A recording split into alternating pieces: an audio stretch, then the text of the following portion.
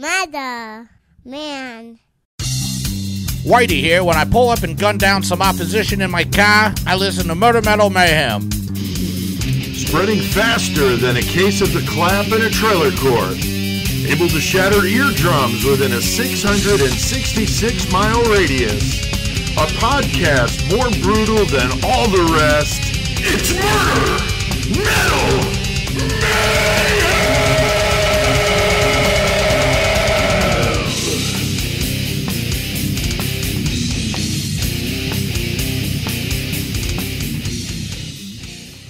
awful nice of Whitey to do that Hell for yeah, us. Chris. thanks, Whitey. Yeah, thanks, brother. All right, well, hey, it's Tuesday and we're doing that thing, but no, wait, it's Wednesday. we're It's doing this on Wednesday. A little It is- different. It does feel weird doing it, on a Wednesday. I was but- sitting there last night like something's off about that. Like, oh yeah, it's fucking Tuesday. I should be. Yeah, it's so weird. We've been doing it on Tuesday every week, but uh, this week we had a schedule conflict and had to move it a day. Uh, but we're here at Horns High Studios for the Horns High Podcast Network doing episode 146. Getting closer, Chris, to 150, man. four more, baby. Getting close. I got Joey and Chris here with me. Everybody doing okay? Uh, Yeah, not doing too bad. all this pandemic kind of world out there. Joey, you doing all right? Scary. It's scary stuff, man. Well, what Yeah, you- I'm doing well. I'm over here taking pictures because we got a new piece Oh, in the oh, studio, dude. so I'm getting excited about it. Yeah, that new Richard Ramirez mask, Chris from Oh, yeah. Sick Rick, looking right at you, man. It's pretty badass. Pretty Like, fucking brutal. badass. And we've got it next to our zombie Ed Gein mask, which is crazy. And then, of course, the sepia H.H. H. Holmes mask. And then yeah. on the other wall, Chris, we Yeah, got some got- good ones over We there, got too. the, the black and white gray man, uh, Albert Fish, Right, with the blue eyes, which Hell is yeah. fucked up. and Pogo the clown, and fucking goddamn Ted Bundy, man. Nice. Shit, yeah. And then, of course, the original Hell yeah. mask. fucking Dominus. Yeah, Oh, the yeah. fucking uh, Venom Oh, black Sick- metal check out mask. Sick Rick mask, man. Yeah, Sick shit. Rick masks. They're all from Sick Rick, Rick Fisher. And so we're loving our brand new Richard, Richard Ramirez one. He's got a cool zombie version of that that I is that. Fucking badass. amazing. Um, I almost I almost got that one. I really almost did because it's so fucking cool. so. It looks but dope, I'm glad we got the one we got with the fucking pentagram on the I forehead. mean, we have to. and it's got the blood spatter that we wanted. I mean, that's that's like bookends on that That's wall. true. The pentagram bookends. That's true. You got Ramirez with the pentagram, With the black metal, with the pentagram. Yeah. So yeah, so we've got some new stuff here in the studio. We're all going a little gaga with the pictures today. Uh, t-shirts, Chris. What do you got on over there, Got buddy? You my got your Cubs hat on. Yeah, yeah. I got my Cubs hat on. I got my old ass fucking Hank Three shirt on. That I got at a Hank Three show. But Cool. Fucking Hank 3, I Three, think that was a mayhem story back in the early days, wasn't it? Probably. I seem to remember that it was. And then Joey, I love the uh, Al Capone shirt, but what you got? Yeah, uh, the the gutter Christ Al Capone. Uh, I wore this when we did the Capone Patreon. Go listen Right. to that. And I wore this also whenever we went up to Shaker's Bar. Oh yeah. But uh, this was done by my guy Gutter Christ out in New Jersey. Uh, Go check out Gutter Christ Productions.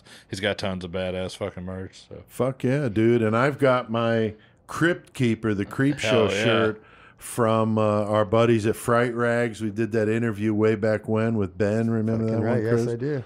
Uh, really cool guy and awesome t-shirts. The best horror t-shirts I've ever seen uh, at Fright Rags. So loving that shit. Now, last week, guys, we did a good one. We went back to 1959, uh, the Clutter murders. Yeah, uh, brutal. family of four completely wiped out western kansas not the not the place you'd expect it which is what kind of gives it that aura and i thought we did a thorough job we really covered it well of course the book in cold blood Yep. by truman capote is like an iconic uh, true crime book a true crime novel. Yeah, like the Um, first true crime, technically, I guess. true crime yeah, novel, and you think of all the ones that have come since, you know, Harold Schechter. I mean, there's been a bunch of them that are great, but you really got to give it up to Truman Capote for really being the pioneer of it. Um, but that quadruple murder of an innocent family is just absolutely nuts, and the Yeah. the hunt, you know, back in an era, Chris, when they didn't have, you know, surveillance cameras Right, and stuff like that. All that shit. It was like old school, like footprints and shit like that. They were able to figure stuff out. And pretty impressive. And then, of course, a little jailhouse snitch. Joey always helps. Yeah. and Or- uh, or a ga- big gave him some names. snitch. right, right. Uh, he really was key in that whole thing. So if you missed it, uh, it's a good one. We had CK talking about the band Mastodon. Uh, we did a new Killer Cage match. Uh, Joey, you had a good mayhem story. Yep. Uh, a little karaoke destruction and just the usual silliness, Chris. you All know. the fun. All the fun. And we did just pass a 1,200 listens to that one. I was impressed. Uh, that one's fucking done very well. Um, Thanks, so guys. Y'all are shit. uh, the Clutter Murders, I didn't know how that would do uh, with the listeners, and apparently they like it. So episode 145, guys, if you missed it. Now tonight we've got a good one, Chris. We love doing some gangster. With Joey's got his Capone shirt on. Yeah, yeah. We've done them before. We've done some mobsters Oh, and yeah. gangsters, but we got one nasty motherfucker up tonight. Whitey Bulger, man. Dude Yeah. brutal as fuck. Very, and did the shit himself. Like there were people that killed for him, but he was like hands on, like choking people out, and and gnarly. I mean, just And he got very away tough. for a long time. He eluded the cops He for did. a long time. He did. He did. So the story is just absolutely nuts. Uh, South Boston is where he's from. Uh, the criminal career starting at age 14 went on for a long time. And like you said, Chris, he was on the run until 2011. And it's a wild story, a lot of crime, a lot of murder, a lot of mayhem all rolled up into All one. And he was, you know, some And I'm say sure he FBI beat some motherfuckers with metal. Oh, I'm sure. I'm sure. I would guarantee that. There, Uh, there's metal in his death, so we'll we'll talk about it then. That's true. That's true. That yeah, that's Oh, very yeah, true. yeah. Uh, now the the whole was he wasn't he an FBI informant is kind of an interesting discussion, but really I don't see any. There's so much irrefutable proof that he really was that Yeah. he claimed he wasn't. So, you know, we'll talk about that. So it'll be good. We haven't done a gangster in a bit, and we like doing that stuff. Now we got CK warming up, ready to throw down in the metal segment. He's fired up as always, talking about a band. I have no fucking idea who they even are. I did yeah. listen to them just to hear what they were. Red Fang. I don't know anything no about idea. it, but as we all know, guys, he oh, is the great metal motherfucker, and CK knows what's up. So he's going to educate us. He's been running up and down Wildman all day, growling at cars that drive by Give the old guttural. frothing at the mouth. I got to imagine it's a frightening sight with CK getting fired up like that. Um, and so there's been recent deaths in the metal community, another one in the rock and roll uh, rock community with uh, with Dusty Hill. So uh, we're going to talk about that, but some good news, Joey, so about the drummer for Exodus, Tom Hunting, Yep. uh, with his cancer fight. So we're going to talk about all that stuff Yeah. in the metal segment. Uh, got a great killer cage match tonight. Kind of an interesting one, It's but kind of very interesting. Chris, we got uh, we got a few listeners we want to say thank you to. Yeah, we do. We got Elizabeth Washington. How's it going out in Arkansas, Beth? Hell yeah. We got Tommy Davis and we got Samantha Cram. Thank you all for the freaking numbers. Love you. Yeah, we appreciate that. They give us random numbers. And that's how we determine our matchup. And tonight, Joey, we've got a crazy one. Yeah, but real, the cage. Real quick before I say who's in the cage. Yeah. Speaking of our listeners, I just want to bring up. I've been noticing. Well, a I know. Did you notice that fucking uh, Terrifier liked the the post? No, I didn't. Yeah, the the episode, and you Oh, obviously yeah. you linked them. You know I what I'm saying? tagged 'em, yeah. yeah, they liked that. I was like, "Fuck yeah, Hell yeah. But uh, something I was going to bring up is that you know, as I check out these notifications from our Murder Metal Man page, that there's somebody apparently who's uh, trying to flex on Shawback over here. Oh, yeah. I, yeah. And you got to tell us what's up. You got to let us What's know. up? And this guy's name, and you might have seen it too, is Chris Two Sheds Cheney. Instead of I'm, one li- shed. I'm like, oh, you got two sheds, so you're fucking balling over there. Oh, wow. So whoever this listener is, which is awesome that he's liking our shit, uh, thank you for being a listener. I'm just Hell so- yeah. Right, But man, Two let, sheds, let us know damn. how your two sheds. We got to Wow. know how this is. Wow, this is, is that a different nation, Chris? Like, It might be. check it shit. out right here. That's fucking hilarious, man. That- What's up, dude? oh, that's hilarious. That's great. Yeah, it's, that's I forgot awesome. you told me about that. Listeners are the best, and we appreciate all you guys. But Joey, Okay. what's the Yeah, what's what- the matchup tonight, dude? All right, so tonight in the Killer Cage match, we're gonna have fucking Henry Lee Lucas Our with his fucking water and eye. Right. He's gonna be Three fighting. yeah, he's gonna be fighting the child killer Andrea Yates. Oh damn! Because Henry's a little dude, and Andrea she drowned all her kids in a bathtub. And Henry don't care about beating up a bitch, so No. So that should be interesting. And they're going to have a couple of objects, Chris, and a variable to make it interesting. So They that'll be in our mayhem segment. That should be a lot of fun. Yeah. All right. Thanks to everybody out there listening. Uh, we appreciate it. Numbers are always, you know, awesome to see. 2,900 this week. So yeah. just under 3,000, but we appreciate it. That's awesome. And so thanks to everybody Yeah, that thank you guys. supports what we're doing. All right, Chris and Joey got a lot on our plate. Gonna go east to Boston to Paktika and try to track down one sadistic mother-fucker on Fuck the south yeah. side. Hell yeah, let's get our gangster on. forget about it. Forget about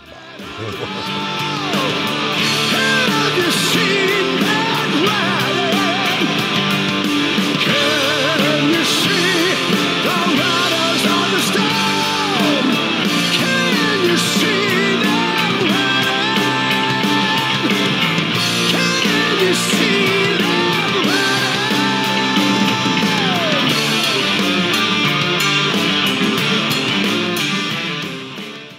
Yeah, man! Some new Iron Maiden, Maiden. uh, writing on the wall. Really different, um, very cool harmonies there. Uh, apparently, the guy that likes to throw his guitar in the air doesn't do that in the studio, so that's cool. I hear three harmonies there, so that's good. Uh, but lots of metalheads are stoked, including yeah. me uh, and CK. I know about that new one coming out September third, new Iron Maiden. So fuck yeah! Imagine they have been fucking doing this shit for fucking ever. That was the first metal show I ever saw in 1983 uh, when they did Piece of Mind and they were touring for Piece of Mind. That was the first metal show I ever went to, and I was completely blown the fuck away Hell and yeah. been hooked ever since. Now, tonight we're going to be talking about one of the most vicious organized crime bosses the U.S. has ever seen, James Whitey Bulger. Terrorized South Boston for many years, spent plenty of time in prison, including, guys, the famous Alcatraz, which we just covered. yes, so we talked a little bit about him, but uh, he was there, which is which is nuts. Uh, also, happened to him when he was in prison too. yeah, and I definitely want to talk about that. Um, and he was an FBI informant, which he, of course, would deny. And his involvement with a childhood friend and FBI agent John Connolly would cause a lot of problems, and including to Connolly himself. So Yes, uh, this is a, a really interesting story. And Whitey, as Chris pointed out, was on the run for 16 years until he's eventually captured. And so we're going to dig into this one tonight, like always we do, and uh, talk about it from a lot of angles because I know we all watched and listened to different things. Now, Chris, we've done some good gangsters before, but a lot of people know who Whitey Bulger is from that movie Black Mass with Johnny Depp. Uh, did you guys get a chance to watch that? watched it. Oh, okay. I haven't seen it. I know Cashman's seen it. But Yeah, Joey, Yeah. you've seen it, but I didn't know if you had seen it too, Chris. But Joey, what did you think about it? Oh, I like it. I think it's a good movie. And Michael says it's fucking badass. Yeah. dude. It's very close to, as far as I could tell from the research I've done, it's extremely close to the real thing. I was gonna say they probably as far as I'm as sure like, some things aren't right, Yeah. but it's awfully close. as It far as sticks to mobster movies go, I feel like they touched it closer to the to the real story than almost Yeah, any Johnny other one. Depp was amazing. I don't like him personally, but man, as an actor, that motherfucker kills it. right. and he really did a good job with that. So, uh, but what is it, guys? You think about gangsters, Chris, like Capone and Machine Gun Kelly, Whitey Bulger, but what do you think, guys? How does that ring with the the true crime fans? A lot of them dig the gangsters too. Uh, just because of the crime, that's it, it is all their whole entire life is true crime, basically. So, True, True. like, true. They're so like you got to check out what they did, what they went through. I mean, if you're just looking at serial killers, you're still going back, but these people, everything they did was a crime. So you got a lot. That's of stuff to true, look man. at. The entire lifestyle, you Yeah. know, like wow, yeah, that's a good point, Joey. You agree with that? Oh yeah, for sure. I also think uh, you got guys like this, or like a Billy the Kid, or something like that, and it, the fact that these people seem to be able to kill without remorse right. a lot, do a lot without Right, remorse, right. is always a, people are always going to be intrigued by that. By anybody that's like that, and the fact that these guys were like, makes them work basically. yeah, and the fact that these guys were like in the public eye, like, constantly. yeah, and they were like nicely dressed, you know, and fucking and nice to people, eh, like for yeah, the most part. nice like, vehicles. It's not like these are fucking scumbag guys. Gangsters are kind of like somewhat somebody to look up to, right? They're respected. Right. Like if you come up in the neighborhood and you come up, you know, looking at that, you want to be like that. But but man, it's still got to be a scary situation because eh, Yeah, every day could be your last. Every I mean, day. You don't know, man. You go to start your car every day. You guarantee you, you're wincing for a quick second there. Yeah. But um, I think there's a certain romanticism with this, like you've kind of pointed out, Joey.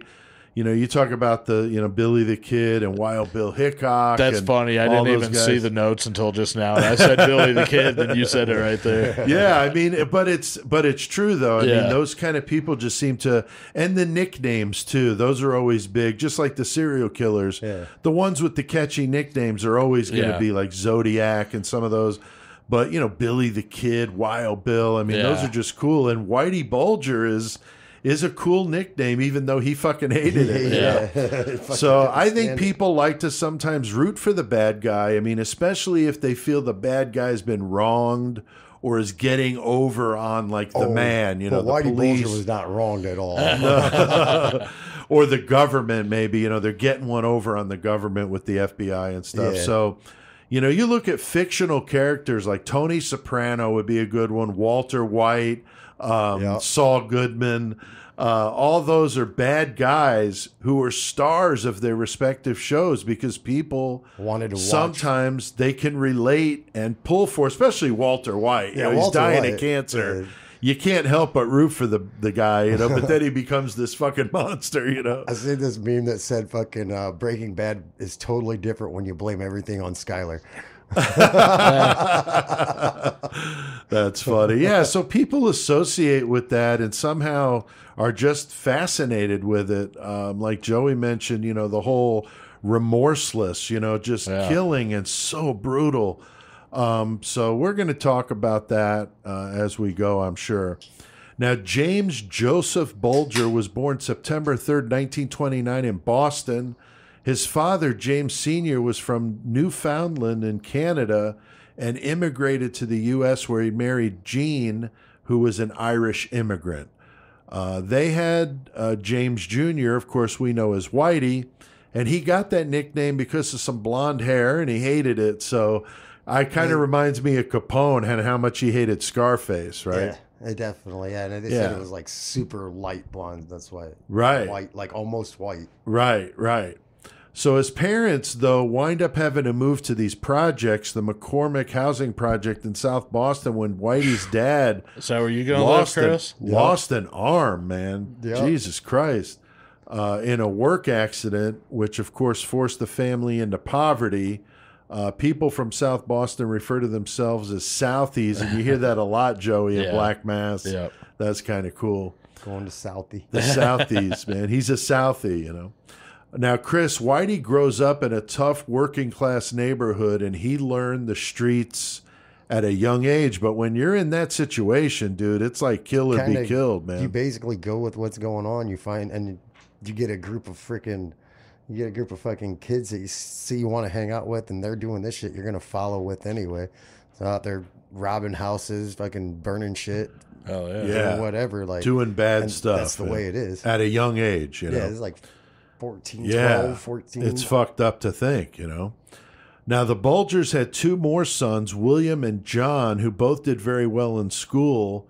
Uh, William, of course, would go on to become a politician, say, like Billy a state Bulger. senator. yeah, that's fucked up. the Uh, which is longest fucked running up. Massachusetts state senator. I think still. he I think you're record. right. I think you're right. Um, and it was Whitey though that's getting into trouble. So the other two were fine. Especially William did really well for himself. But there was always that question of did he know what Whitey was doing? He's and- like kind of giving him a pass. but- yeah, and it's hard to say that he didn't. But you know, John Connolly. I just watched an interview with him today. He swears that Whitey never talked to William about any of that kind of stuff. He just completely kept him out of it. So I mean, you got to. yeah.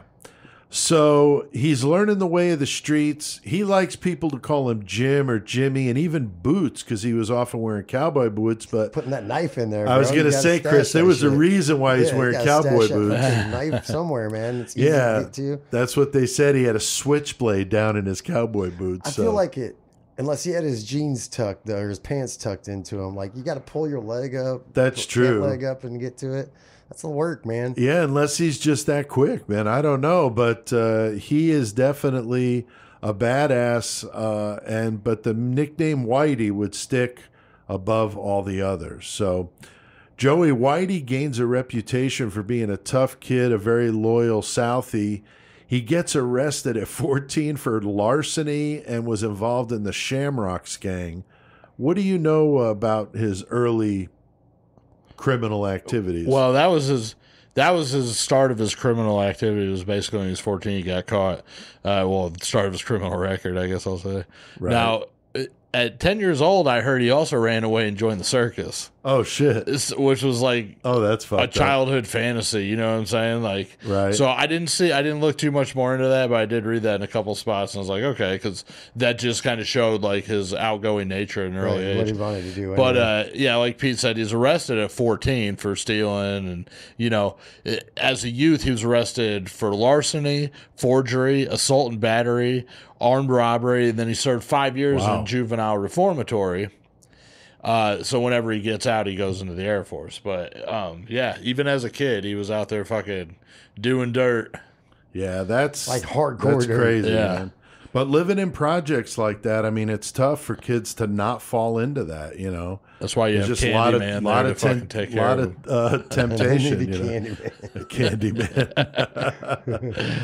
So yeah, he's arrested a bunch. He gets out of juvie and would enlist in the Air Force in 1948.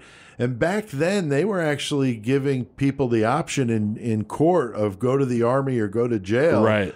And a lot of people went into the fucking I'm service because of that. like, that. fuck I it, I know. guess so. Um, and it was not uncommon then, but that's changed. I know when I was in the army, that was not that way. I'm not sure when it changed, but you know, especially during wartime, I mean, they're more apt to be Yeah, a like- little more lenient. You know, like, yeah, Yeah. come on. Yeah, during wartime though, motherfuckers probably more apt to be like, "No, I'm going to prison, dude." Yeah. that. yeah, well, that's true too. That's true too. So anyway, um, he winds up getting into all sorts of trouble. Um, you know, he he winds up getting uh, you know going AWOL. He somehow though gets an honorable discharge out of the Air Force. That's fucked up. 1952. So he did four, um, and uh, so that's about all I had read about his military career. It Right, wasn't it wasn't much other than he got into trouble. Yeah. Um, he moves back to South Boston and resumes his gangster shit. Ends up in prison again in 1952 at the federal penitentiary in Atlanta for armed robbery and hijacking trucks. Chris, pretty crazy. Just stuff. makes me think of Joe Pesci on Goodfellas. Yeah, fucking taking their driver's license. yeah, Yep, totally, dude. Uh, while he was there, Whitey confided with in- inmate Kevin Weeks, who would wind up writing a book called "Brutal" about his time with Whitey. I, I wished I would have read it.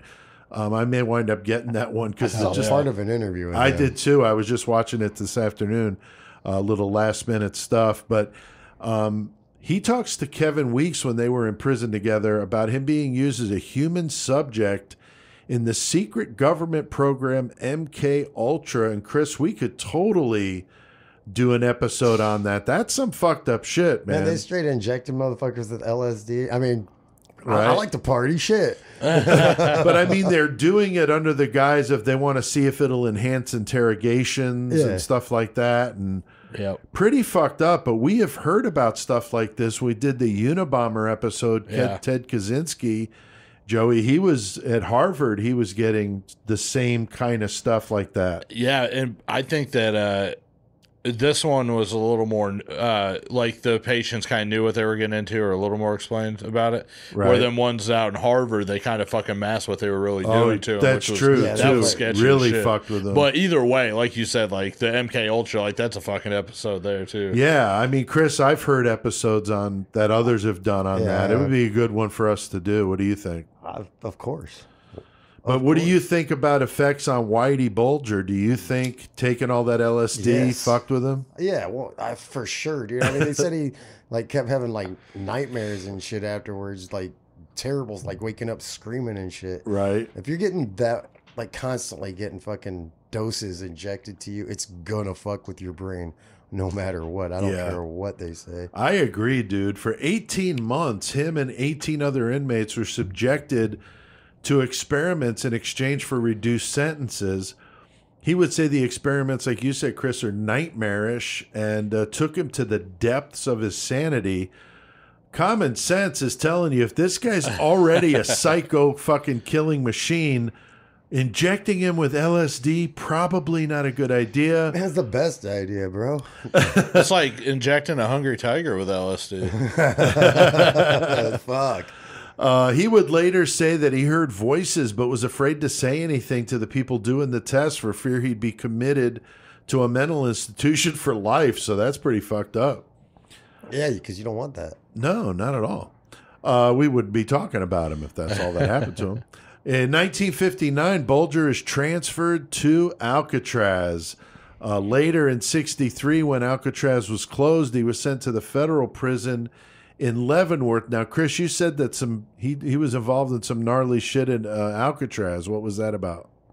Oh, I don't know what he was involved Oh, in. nothing, exactly. specific? Nothing I thought there was like an incident or something. No, nothing specific. no. Okay, yeah, I hadn't heard of much either. I did hear that uh, supposedly fucking he was sent to Alcatraz because he was discovered making plans to escape when he was in Atlanta. Ah, so they're like, all right, That would fuck make you, sense. fucking You're get the- going. yeah. Yep. And of course, when we did Alcatraz, we talked about all the different people that ended up there from being, you know, escaped inmates Escape, from yeah. other institutions So where they're sending sense. them to the one you can't escape from. But you know what's and uh, on fucking CNN, Bulger he fucking did like an interview or whatever after he got caught in 2011, and he said, "If I could choose my epitaph on my tombstone, it would be I'd rather be in Alcatraz." That's what he fucking said. Like, Wow. yeah. So I don't know. He must That's have had a good up. time in there. So I don't know what the fuck. So he would have been crazy. there. Yeah. He would have been there in 1962 in the escape of the Anglin Yeah. brothers and Frank Morris. So we covered that one in 140 episode 144 just recently with Tech. So if you missed that one, definitely go back and give that a listen. Now Joey Bulger would finally get paroled in 1965 and would not be arrested again for 46 years. That's fucking forever. That's a Right, for somebody like that. time. like doing Uh, everything he did. That woman he had the kid with, I watched an interview with her today, and she said that he told her, I don't ever want to go to prison again. yeah. And the lady interviewing her said, So does that mean he wasn't doing criminal activity? She said, No, I just mean he said he's never going back to prison again. Like, Right. let's leave that alone. So, uh, pretty fucked up, but uh, Uh, But yeah, then he fucking, you know, he gets out of prison this time, Right. goes back to Boston, and fucking gets right back into the criminal activity, Right. like even harder now. but he learns how to not get caught. Exactly. He's paying people. Yep. He's got He a fucking how- knows payroll going on. shit. You Right. can't help but wonder too if you don't know about Whitey Bulger, like like we don't know about none of these dudes for real. But it makes me wonder that during his time while being incarcerated, if he made any connections that ended up getting him into where he became with the FBI. You know, It's very possible, dude. Uh, but he grew up with Connolly, so you know Yeah. there definitely was that tie Right. with those two. But he gets out, he becomes a janitor and also worked construction for a while, and that's when he first met that woman he had the kid with, because she said he was working construction, so I didn't have any reason to think he wasn't. he was probably. But then at some point he stopped doing the construction and then was Yeah. full time, you know, gangster. he So was probably catcalling her it's very with his possible. hard hat on, whistling and shit. He gets into bookmaking and loan sharking under Don Killeen, who ran the Killeen gang with his brothers. They were very dominating in Boston. Some harsh shit, Joey. 20 years of gangland hits. Nasty, you know, rub out in the middle of the fucking restaurant. Fucking full auto, just blowing people away. Fucking just wasted fucking Irish motherfuckers. Yeah, and it's all this turf shit and Yeah. dumb shit like that. It's I mean, it's To it- them, it's not dumb. I'm just saying, like to, Right. to the average person, it's like, what the fuck? But you know? to be honest, like back then, that's almost the equivalent of what you see in like the inner cities, like Chicago, oh and New York sure, and shit oh now. of course, yeah, Uh, that gang life is, is basically the same kind of. Fucking that's thing. true. Just the different form of Yeah. it. Uh, this would be known as the Killeen Mullen War. A lot of fucking dead bodies over this gang rivalry shit. Whitey somehow manages to stay alive, and eventually, a truce is achieved between the Killeens and the Mullens. And he's in like the nice spot because he's kind of right in the middle and he's cool with everybody. Nobody seems like, you know, they want him dead. Like Kuklinski was with all the fucking other- all the Right, right. And he learns a lot from working under Don Killeen. Uh, now, 1972 is when Whitey establishes himself as part of the Winter Hill Gang with Howie Winter, another, you know, Boston gang icon. Uh, this was a gang mis- mixed with Irish and Italians in South Boston. And Whitey begins to gain power by getting rid of any opposition and getting Howie uh, Winter to sanction the hits, which is usually how that works. And so Whitey is known as a very intelligent guy, but definitely he's got a thing for violence, not afraid to use it, completely without remorse. And he was a good fighter. They said like just straight up. Oh, yeah. Walk up on a motherfucker and beat him. Oh down. yeah, he was a tough motherfucker, man. Um, and he was moving up the chain very quickly. Now, Chris, 1979, Howie Winters is arrested uh, with some of his associate associates for fixing horse races, but again, Whitey just fucking sneaks out and Bro. doesn't get arrested. But he becomes the boss now. Right, Now that power run this shit. vacuum. Yeah. Now he's in the perfect spot again, and Now- he's running the Winter Hill Gang with uh, Stevie Flemmi. With the vengeance. the riflemen, uh, some harsh shit. The two of them now run in the Winter Hill Gang. So And pretty that- impressive. That's a dangerous guy to have running a gang too. Fucking. Well, like, yeah. Not giving a fuck. I'm taking care of shit, and I'm taking care of shit my way. Right, right. Now the gang headquarters is moved to the west side of Boston, and this would be when Whitey was hanging out at that bar. The Triple, Triple O's. I saw that in every documentary about him. Uh, the Triple O's. But uh, that bar would be the sort of central meeting place for Whitey and a lot of his buddies. Whitey is involved in burning an elementary school to the ground to intimidate a judge who was pushing for desegregation. So what the fuck, yeah, he man? just, like wanted all the schools still segregated. All right, Yeah, whatever. kind of fucked up. And then he throws a Molotov cocktail in the birthplace of JFK to intimidate Ted Kennedy, who was pushing for desegregation of schools in Boston. so what the fuck? Definitely not doing this shit like with any kind of panache. No, it's just yeah. like fuck you. It's like I'm gonna fucking burn your fucking brother's house down just so you fucking don't fuck with me. Because guess what? You're next, motherfucker. Right. Well, there was that one family. We're going to get to it later with the with the bar that he Yeah. winds up talking yeah. to him about. And I saw an interview with the mother, the wife of the guy, and talks about the little baby up on his lap was like 13 months old, was teething, and it like made her cringe to see hit the baby on his lap. And he had a gun out, and the baby was teething on the gun, and Whitey was just laughing at it. Holy shit! I didn't. That's see that fucked up. Yeah. And he t- and he turned to her and said, "It would be a shame if you didn't get to see her grow up, wouldn't it?" Oh yeah, dude. Yeah, pretty yeah. brutal. As early as 1971, the FBI would claim that Whitey Bulger was approached by John Connolly to be an informant in an effort to bust the Italian mob. What the fuck with that? Uh, specifically, the Patriarca family. Um, and they were, you know, running the Italian mob, and the FBI had their sights on them.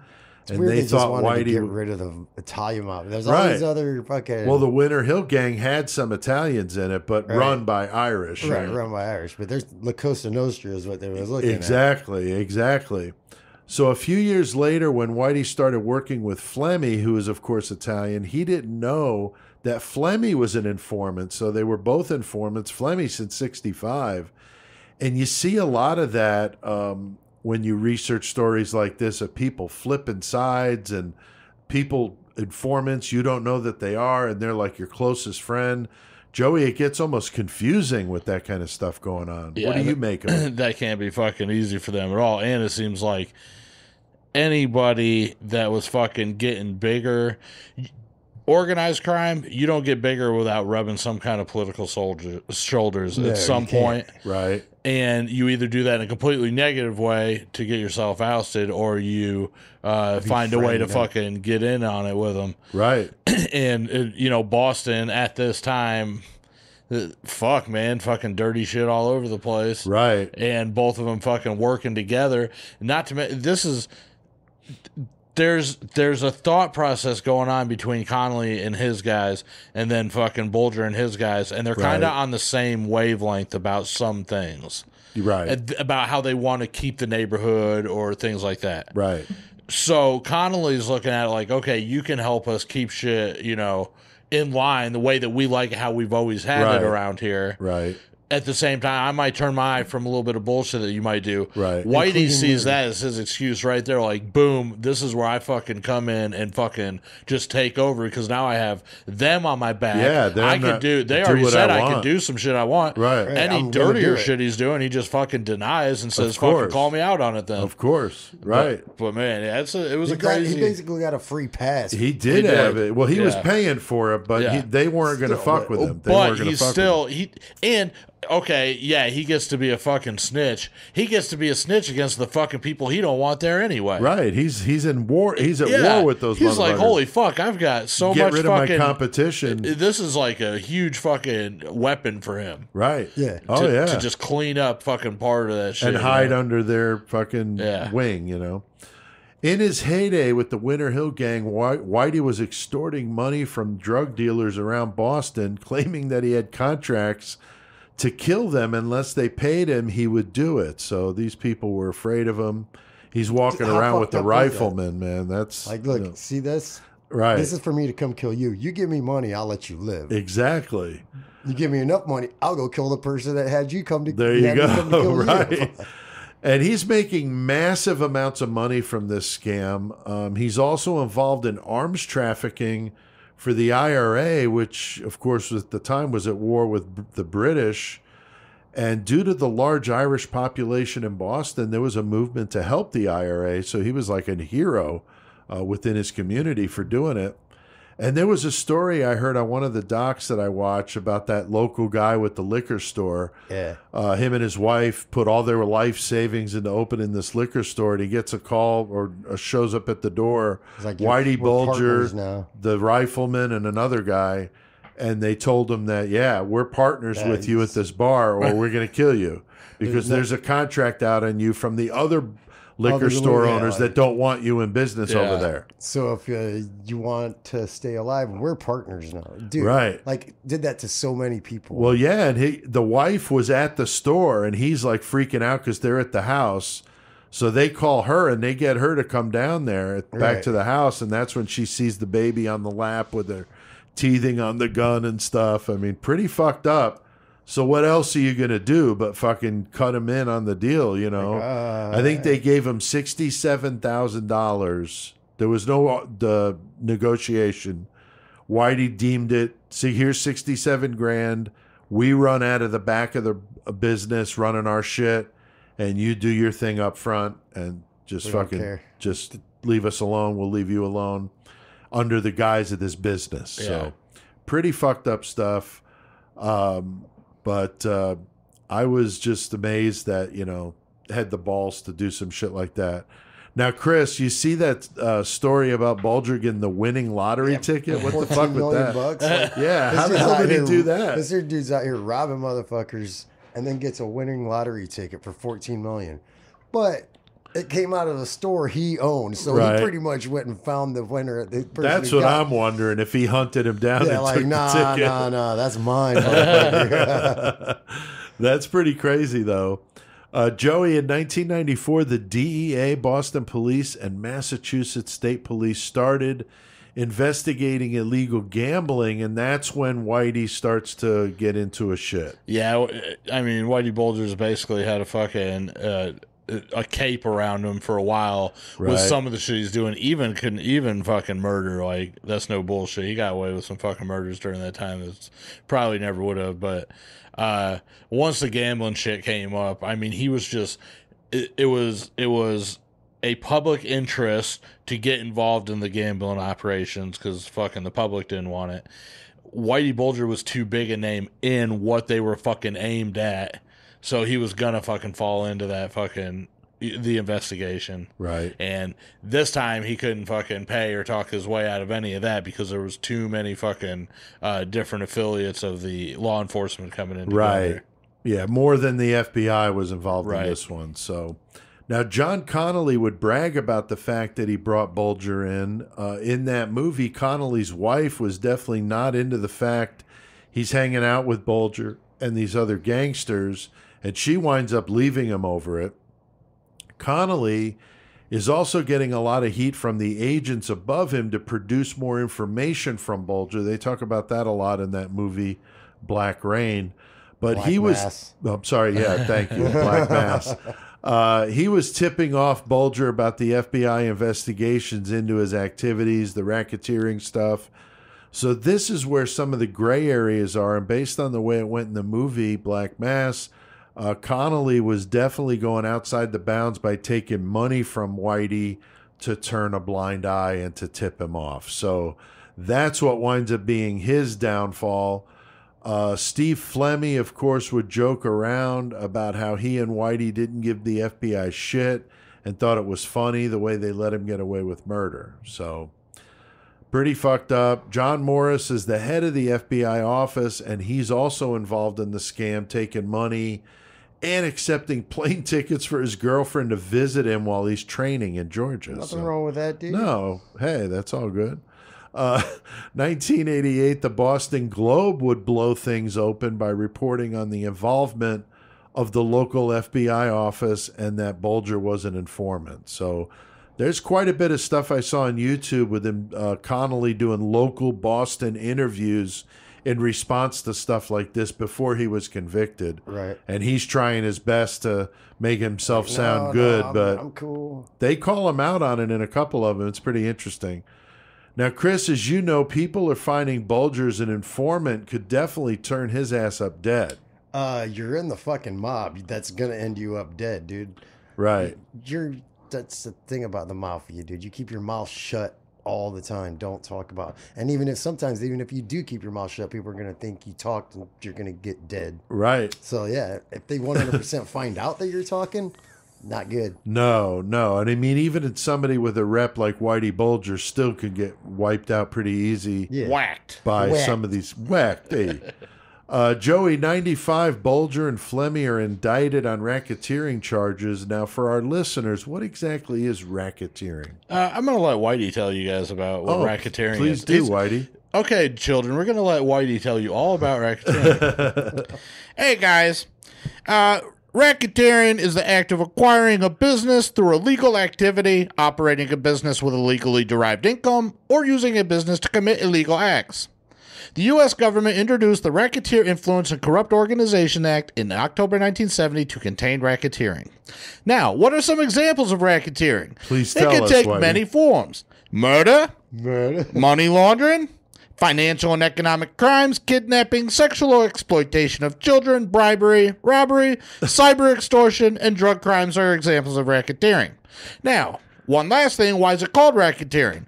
Because of the clandestine nature of the black market, most proceeds made from criminal rackets go untaxed.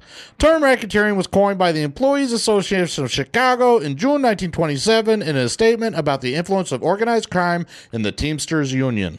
Thank you, Whitey. Wow, thanks, Whitey. That was very informative, man.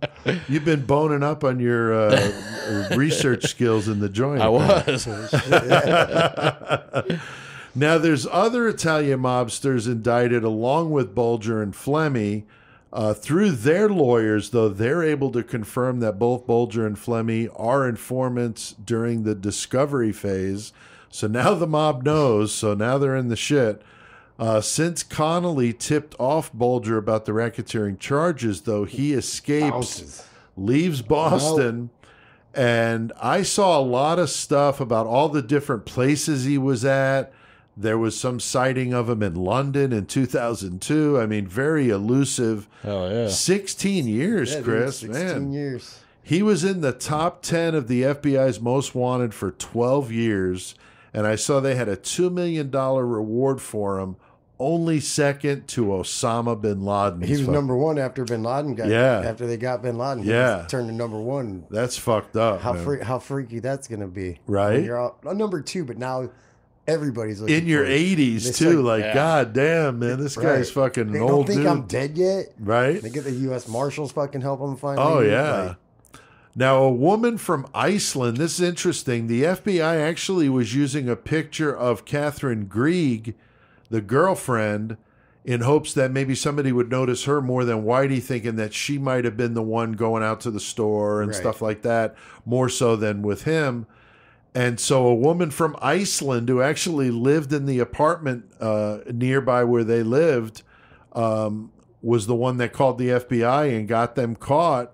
The FBI, I don't know what the ruse was to get him out of the apartment, but they it's did. because they had a they said they had a storage unit or whatever, so they had the uh, Oh yeah. the superintendent or whatever call them and say there was a robbery, want them to come downstairs. Okay. So Whitey came downstairs and like they instantly was like, "Put your fucking hands up." right, in like a parking garage or something it looked like. so- yeah. yeah, and fucking that was that. Yeah, without incident. And then, and then some, and then there was like, no, he's got dementia. So the cops like were like, hold on, did I just arrest some crazy dude that thinks he's fucking Whitey Bulger, dude? Oh, that's funny. Like, no, it's, this is It's me. him, yeah. No, this is me. I'll fucking own up to it, whatever. Wow. I guess they told him to get on his knees and put a hand behind his back. He's basically like, fuck you. I Right. ain't doing that. Yeah, I mean, uh, there's more than eight hundred thousand in cash at the apartment, thirty firearms, fake IDs. Of course, the girlfriend she winds up getting caught. Uh, she goes in without incident for you know harboring a fugitive, basically. Um, she's like twenty years younger than him and had been with them for quite a while. Dude, and he said, fucking, I'll own up to everything I've done. Just let her go. yeah, he Like, wanted to like, let like, them to let leave her, go. alone. She wound up getting She eight like years. eight years yeah. for harboring, like you said, harboring a fugitive. Yeah, um, but yeah, I did see that that he was trying to get her out of it. Um, he was brought back to Boston and charged with forty crimes, including murder, extortion, racketeering, money laundering, and narcotic sales, and he pled not guilty. Now, Chris, he would have his lawyers go on this crazy campaign to prove he was not an informant.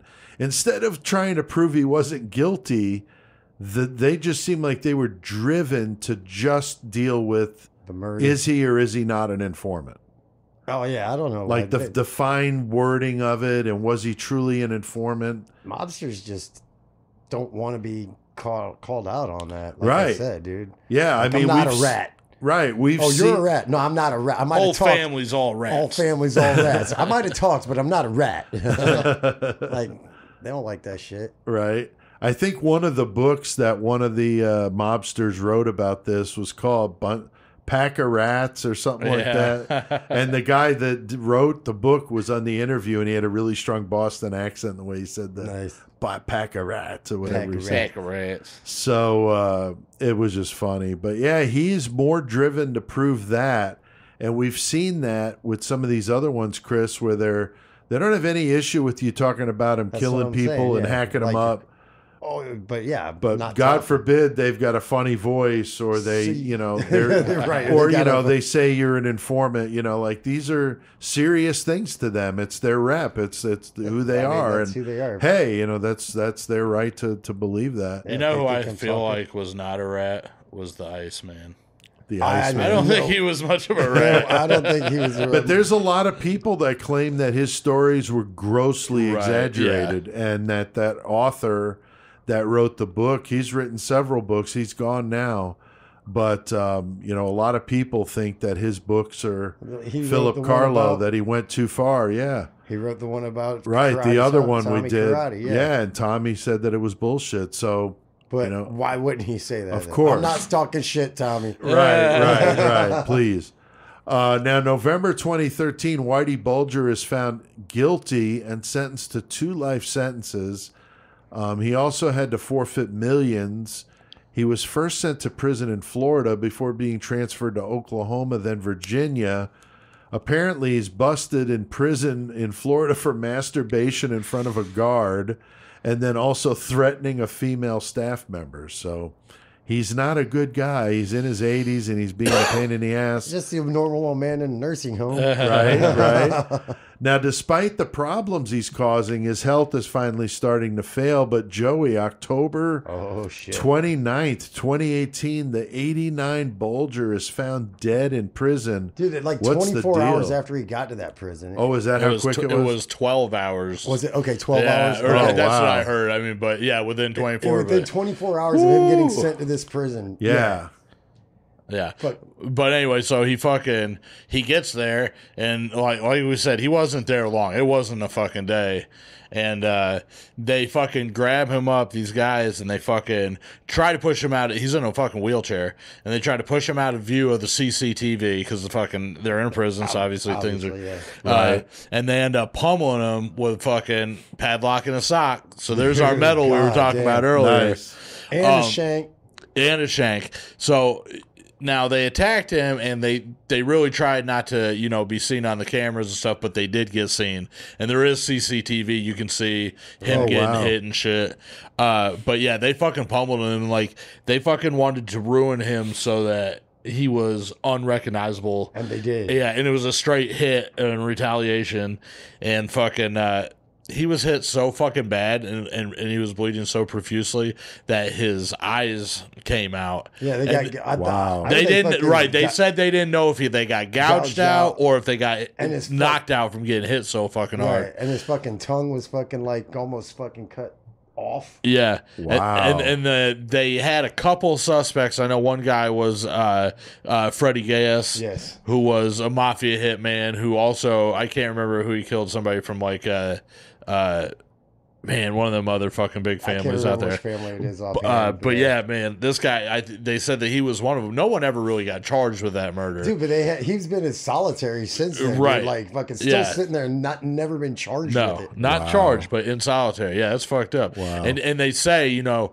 you have to wonder within 12 hours, the way the hit went down, was there inside Inside- prison officials right. that Right. fucking knew They're what like, was "No, going on? Like, there." oh, we'll Yeah. transfer right Definitely here. a mob hit style the Yeah. way they did that. Now I and the mob hitman being the, the one of the two. I did fuck this up because I was gonna originally, whenever he asked me how he died, be like, "Well, he was standing there, and all of a sudden he was shot in the back of his head, and it was over." But that's not how it happened because I, you know, but I mean, that's he he fucking Brutal. Your last moment, yeah, you're fucking getting punishment back for a lot of bullshit that you did.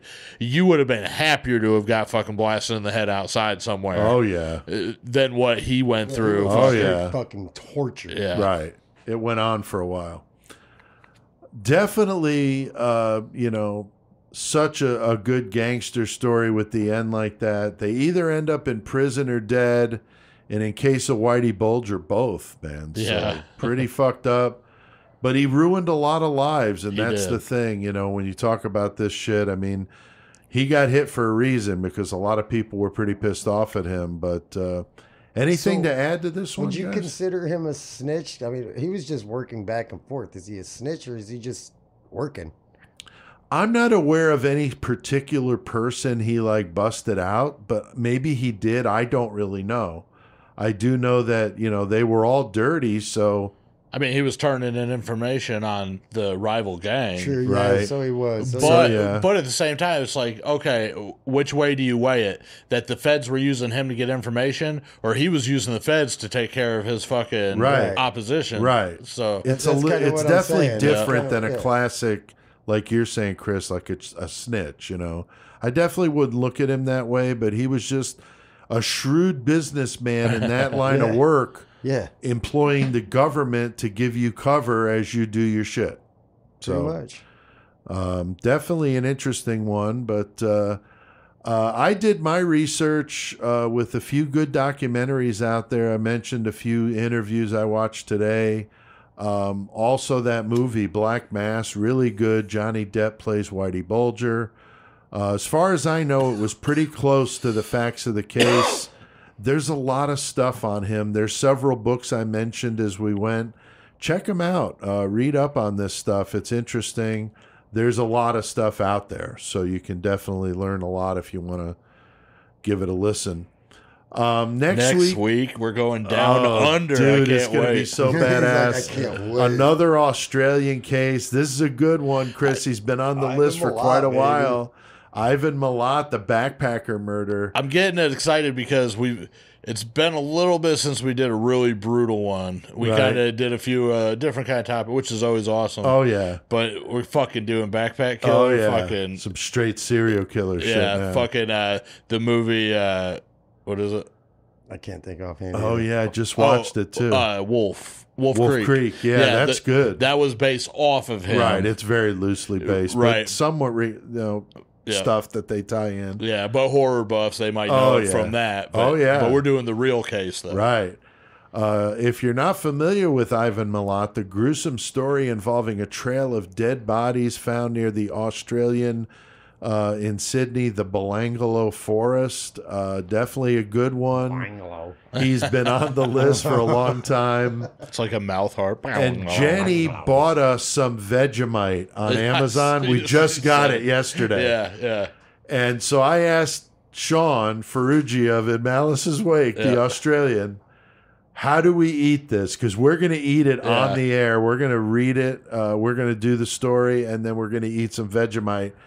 And Sean is claiming lots of butter on the toast and sparing with the Vegemite. I'm pretty. Whenever, because like I said, Rick Ring, he Yeah. sent it to me, and it was pretty much exactly what he said. He was like, hot. he was like, get hot because the Vegemite's like really fucking uh, coarse. Oh, okay. So to get it to melt and spread, it, it- Oh. it's like basically if you have a fucking hard stick of butter, you know how you try to spread it, and it's like fucking turns to chunks and shit. Right. That's how the Vegemite was. But if you get that shit fucking hot and you get the Oh. butter on there, there you go. okay, so we're going to try Vegemite next week, Chris. Bringing the toaster out to the fucking Uh, studio. well, we'll toast it, and then she's gonna uh, do yeah. it up, and then cut it into pieces, and we'll eat it while we're doing the show.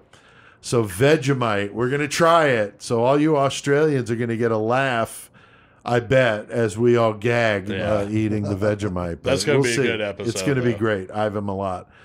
All right. Uh, we've also lined up another interview with Dr. Harold Schechter. Yes. Very cool. True crime author and a shitload of books on serial killers. I think I've got every one of them. Still amazing we get people like him to talk I to know more than once. Uh, but Harold's a good dude. Uh, his latest Maniac is the one I read about the horrible Bath school disaster, which is on our list for August. And so we're going to talk to Harold about that and some other topics that we got coming up. Chris, Leopold, and Loeb. Yeah. Uh, some good ones uh, that I'm anxious to hear what he's got to say. Maybe maybe some Columbine Yeah. discussions with Harold. Our hundred and fiftieth. yeah, we got that coming up. So it should be really good. We're doing that one Sunday, so that'll be fun.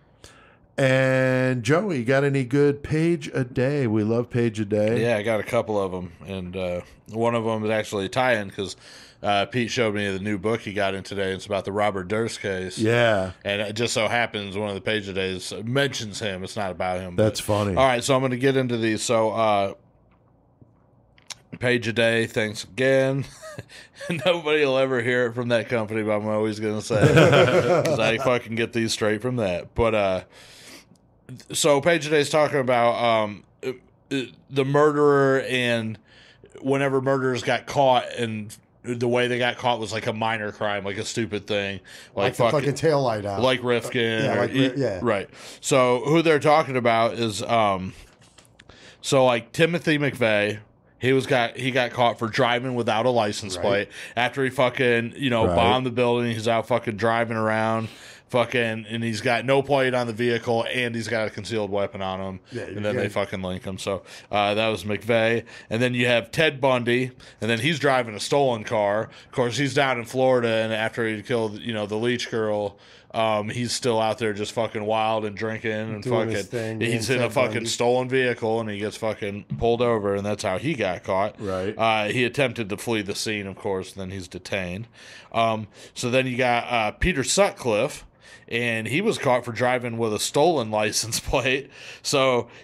I mean- Yorkshire Ripper. yeah, the Yorkshire Ripper. So he gets he's out in this car and he's got stolen plates on it. They pull him over for that. Whenever they pull him in, they're like, "Hey, you match these sketches right, here the Yorkshire Ripper." Right. Uh, so he got caught that way.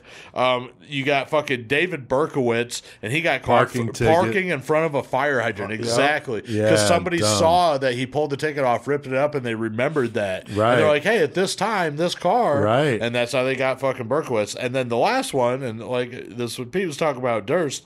Uh, Robert Durst, he was caught for stealing a chicken salad sandwich. Yeah. yeah. And, uh, like Shane, bro. he had He's a millionaire, a million, multi-millionaire. he had been a fugitive for two weeks when he was caught for stealing that sandwich, and in his car they found forty thousand dollars. Right. That's how he got What a caught. dumbass. Yeah, so I thought that was pretty interesting. Yeah, and he Stealing said he chicken. doesn't even know why he stole it. It just Yeah. was like an impulse. It's like thing. Winona Ryder stealing the candy bar. Yeah, it's like, like, what just an got to do idiot. some fucking shit. What an idiot! All right, so that was that one. Uh, the other one I got from Page today, and this is kind of a localish one for us, so I thought that was cool. And uh, it's about the Watseka Wonder. Oh which- yeah, we did that one. Did you guys Yeah, do we that? did do yeah. Watseka Oh, okay, Wonder. then I won't talk too much about it, but I'll still It's a run good through story, it. No, though. Yeah, Yeah. it's a good uh, reminder. I'll, ju- I'll just yeah. do it anyway then. Yeah, go whatever. ahead. Yeah, it's a good story. It's been a while. And off topic, did you do Tony Costa? no, No. Okay, you know who that is? Sounds familiar, but Okay. offhand I. Okay, I think I asked Chris one time and he couldn't remember either. I was like, fuck, can't remember. Anyway, that was another one from a page today and I saw it and I was Oh, like, okay. But I knew already knew him. But anyway, so the Watseka Wonder, and if you like what I'm telling you, go back and find the episode. Uh, Yeah, it, it had to have been the early one because I, No, I don't even remember I think we were it still right up. We were, I think we were still upstairs. I think so too. And we, uh, I have a book on it. Yeah. there's only one book. I have it. the book the about the, book. Watseka. it's the journal from the doctor that treated her. Yeah. it's pretty interesting, and there's a lot of YouTube videos about of uh, people doing ghost hunts there. Um, my daughter Katie was just talking about it's open for Airbnb if Oh, you want to wow. stay there. Wow. but it's very expensive. Yeah. But the owners for a period of time didn't want anybody on the property. But now apparently either they or new owners are cool with, to some extent, exploiting the house for what happened. So go ahead. All right, so let me tell the story of the Watseka Wonder. If you like it, go listen to our other episode and go see if you go stay at the the B and B. Yeah. uh, Watseka, Illinois. So you're right. So for our listeners that don't know, Watseka is a town outside of Chicago, a little bit south of it. Um, so kind of closest to us, within a couple Yeah, hours. between us and Chicago. Yeah. Uh, so um, in July 1877, 13 year old Lurancy Vennum, Vennum, how do you say it? Vennum. Vennum. That's what I thought, but I was like, man, it sounds too I brutal. know it sounds weird. Uh, so Lurancy Vennum, she goes into a strange catatonic sleep, um, where she claims to speak with these spirits and stuff. Goes into the spirit world. Uh, they occurred multiple times daily and would sometimes last up to eight hours, which is a long ass time. Whenever she, yeah, time. and whenever she would come out of it, she wouldn't fucking re- remember any of it or recall any of it, but she would be speaking in different voices and things of that nature. Um, so the di- the doctors diagnose her as mentally ill, and they want to send her to the insane asylum in Peoria. Which of Right. course we've talked We've about that yeah. too. yes, Bartonville. Uh, in January 1978, uh, another gentleman, Asa Roff, who was also from Watseka, but of course they didn't know each other, uh, supposedly. I mean, there's skeptics to it too, but Yeah. uh, but they, you know, for for our sake, they didn't know each other. He visited the Vennum family, and he claimed that his daughter Mary had experienced the same exact thing that had been going on with Lurancy, um, and that he was convinced that her spirit still existed, and that he was communicating through uh, Lurancy, the girl. right. Um, so Mary Roff, you know, she dies uh, uh, July 5th of 1865 while hospitalized in the asylum, which as we Yeah. you know know from that fucking story, you never know what kind of situation really was Yeah. the cause of death there. Right. Uh, but um she was committed after she began slashing her arms with a straight razor, which was the worst of the things that she did. You know, this started with the trances and things like that and escalated. Right. And then she started slashing herself with the razors. She had become convinced and she got obsessed with blood and was convinced that she had to get her blood out. And she was doing it with pins and leeches and, Right. you know, finally to the straight razor. And they're like, okay, you got to go to this fucking hospital.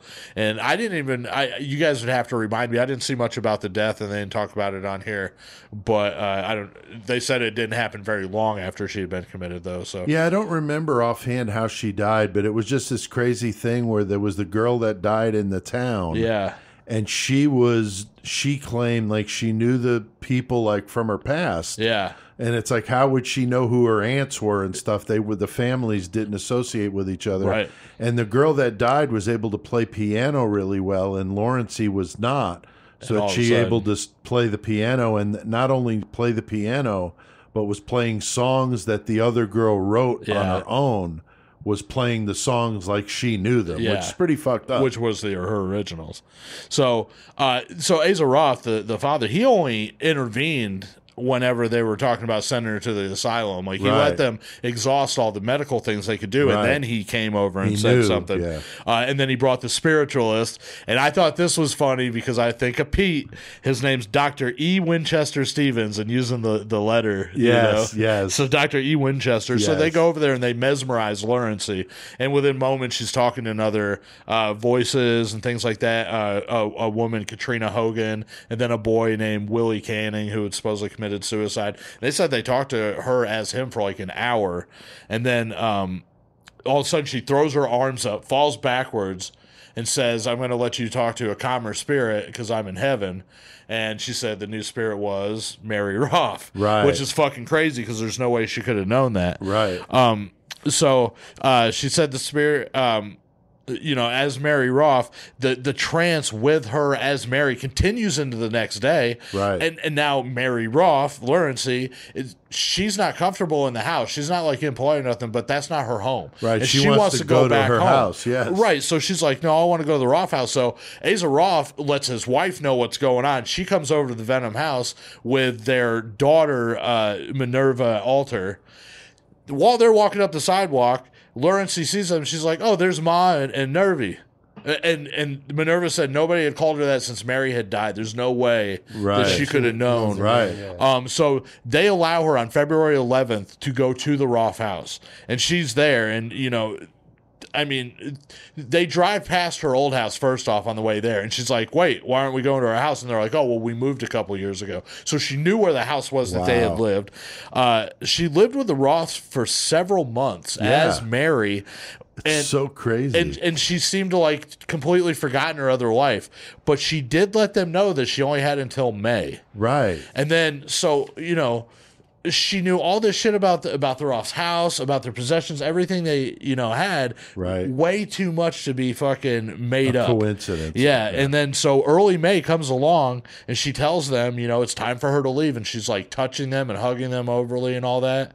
And then all of a sudden, you know, she goes back on May 21st back to the Vennum house, and everything's just gone. No signs of any kind of illness, nothing. She is Lurancy Vennum once again. She's happy and healthy. Uh, she remained in touch with the Roff family because she felt some kind of closeness with them, Yeah. even though she didn't remember Right. anything about it. And then she ends up moving to Kansas with a farmer who she marries, has 11 children, and had a normal life. But That's fucking the insane. Watseka Wonder. Yeah, Yeah. the Watseka Wonder is a really cool story. That's a cool page a day, man. Yeah. Different than the usual page Yeah. a day. So and, but yeah, so the Murder Mel Man. yeah, episode, we did it at to that. Chris or uh, Halloween week or the month of October. I seem to remember we did the Watseka Wonder that can't first remember when our was. first Halloween. So um, check that out. Yeah, that's going back a ways. Yeah. So very cool. All right, well I think CK's getting ready to come out and do his thing. So Joey, what the fuck do we need to do? We need to get our middle on. Known the world over as the master of metal, the crusher of posers, and murder metal mayhem's knower of all things metal, hailing from Wild Van Street in Danbury, Connecticut, standing at six feet of brutal, punishing madness, weighing in at 220 pounds of poser pulverization, the one, the only, toughest bastard on the planet, Chris C.K. Kovacs!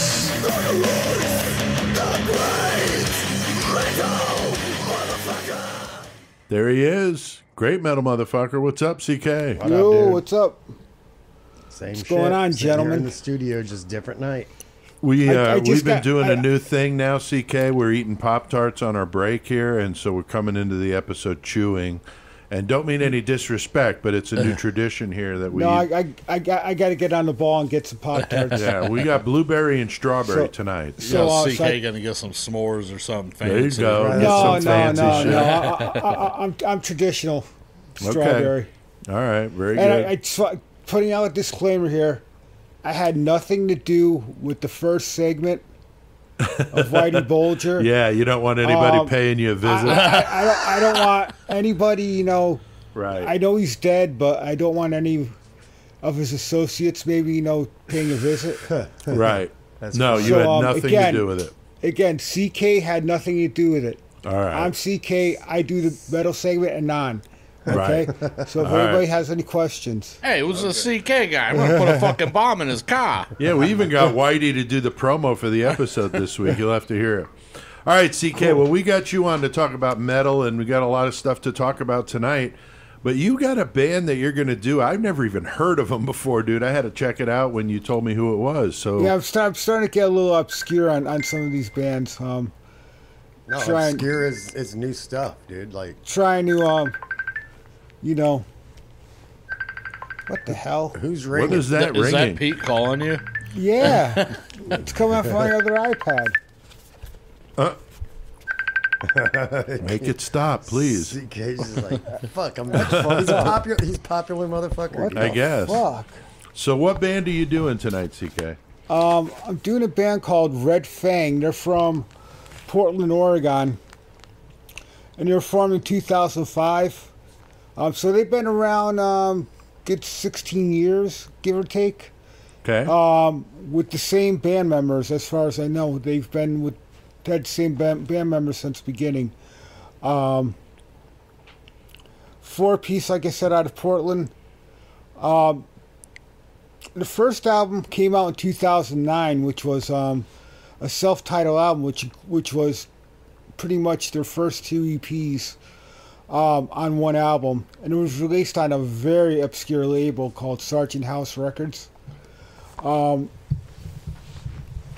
which you know I have, of course. Of course you do. of um, course. You know, just make that clear. um, and like I said, it was the first two EPs on on one CD. Um, it, di- it didn't do that great because obviously you're on a smaller label. Um, it did okay like regionally for them, but as far as nationwide, it didn't really hit. Um, but it did catch the ear of Relapse Records, um, iconic metal label, which everybody Oh, yeah. pretty much knows about. Yes. Um, and they released their, I would say, their real debut f- for them, which is Murder in the, Murder Murder the Mountains. And Sounds like a fun vacation. Yeah, that was that was released in 2011. Um, and they started to get you know a, a little following and was able to get on some some really good tours. I mean, they toured with Crowbar. Um, they toured with Helmet in 2011. what year um, did we see Helmet? That was after 2011. Yeah. Yeah. Uh, yeah, that was 2011 when they toured with them. Um, they also played on the May, um, Rockstar Energy Mayhem Festival with um, Megadeth. Um, and in September, they, they went on a, a major tour with um, Dillinger, Escape Plan, and Mastodon. So they got a little um, they got they kind of got known from that album. Um, and in 2013, they released Whales and Leeches, which is one of my favorite albums. Um, it actually hit number 66 on the Billboard charts. No so um, yeah, so it actually you know it actually did very well as far as sales. Obviously, That's Um, cool. you know, and, and, and again, this is, you know, the time, it's 2013. People are starting to stream shit. They're not really buying physical copies. And, um, in 2016, they, three years later, they released a follow up to that, which is called Only Ghosts, which is another killer one, and that also entered the Billboard charts at 143. Wow. And I, I could see why why it didn't go higher because now you know people have the, the streaming platforms. Right. Know, by this time you have Spotify, you have um, well, what used to what used to be Google Play is now YouTube Music. Right. Um, so you had all those, and and obviously, um, you know, if people are streaming, it, it kills the record sales. So I could see why it didn't Right. chart higher. And just this year, they released um, a great album um, called Arrows.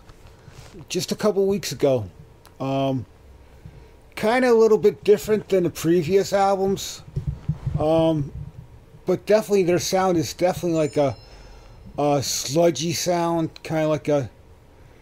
It doesn't quite go to stoner metal, but it's it it is a slow, sludgy sound, kind of along the lines of or maybe maybe early Mastodon. Okay. Um, de- definitely maybe Crowbar Right. um, type of type of sludge. Yeah, I thought of And, uh, Crowbar when I heard the song. I play a clip from uh, the song Arrow, and I thought it, it reminded me of some Crowbar riffs. And Yeah, stuff. yeah, they definitely have a definitely, you know, sound. Um, they owe they owe some of their sound to to Crowbar, I I think. But um, you know, all their albums are pretty much available online. Um, the first one is very very hard to um find, but it is available, and obviously obviously you can stream it. But um, you know, again, I try to push the um the physicals and f- shit. the yeah. physicals, you know, buy a shirt and all that shit. Well, CK, you're Um, going to be proud of me. Today I got a package from our friends in Byzantine. I ordered a shirt. I ordered two CDs, not just one, two CDs. Oh, really? Wh- wh- which ones? I got the Cicada Tree and then the one before that. I can't remember. Oh, so the last two albums. Yeah, fucking I th- I killer. Killer. And a big I love- sticker. OJ sent me a big sticker for the table. I I'm love just those trying guys. to find where to put it. I may Um, put it on the wall. It's it's huge. I def- I definitely got to do a feature on them. I might do that next week. Yeah, they mean. would be great. They just start their tour tomorrow in Pittsburgh. By the time this episode comes out, it'll be tomorrow. So uh, Yeah, so- Thursday, the 29th, uh, uh, Byzantines in uh, Pittsburgh. I can't remember the name of the club, but I'm sure you can find it. So. Yeah, I mean, you want to support these bands, and that's cool. And Yeah, I didn't know anything about Red Fang, so you know, it's just always cool to, Yeah, to hear definitely from you. check them out. You know, you may like them. Right, I not know- for I know everybody, but hey, I you know. know, we talk I know about it's a lot not. of, I know it's of not in your guys' wheel box as far as you know metal, but you know, maybe other people will hear and, and, and dig them. But Yeah. No, that's know, cool. But I No, definitely it's- know your Lost class. Yeah, the Lost Classic, that's a good one, CK. I do know that. oh god, that's um Razor. um Razor from Canada, um Executioner song. Hell yeah. Uh, it, I love it because it, it, it's very primitive sounding. Yes. If you listen to it, um, That's obviously part they- of its got- appeal, though. Yeah, yeah. Obviously they've gotten better over the years, Right. but that being their first album, I just, I just, something about the, the, the primitive sound that some of these bands have. well, that I- yeah, like Venom. I mean, Venom wouldn't Yeah. be Venom if they sounded spit polished in a studio. You know what I mean? It's got to sound like somebody's got an amp oh yeah. that fell down a flight of stairs and the microphone fell with it, you know? no, they just something started it, playing their instruments, and, Yeah, it's just raw. know, yeah. but um, I, I definitely love. I, I, I, they'll follow them since the beginning, and they've obviously progressed. and They've gotten better over the years, but um, right. definitely check it out. I, they just re- re-release a lot of their stuff on CD, so that so it is all available. Um, but check out Razor, um, Fuck yeah, especially man. Executioner song, that the, the first album. Fuck yeah. All right. Well, I hear that music. Six six fucking six. We're gonna talk about some of the shit we've been listening to. So let's check it out.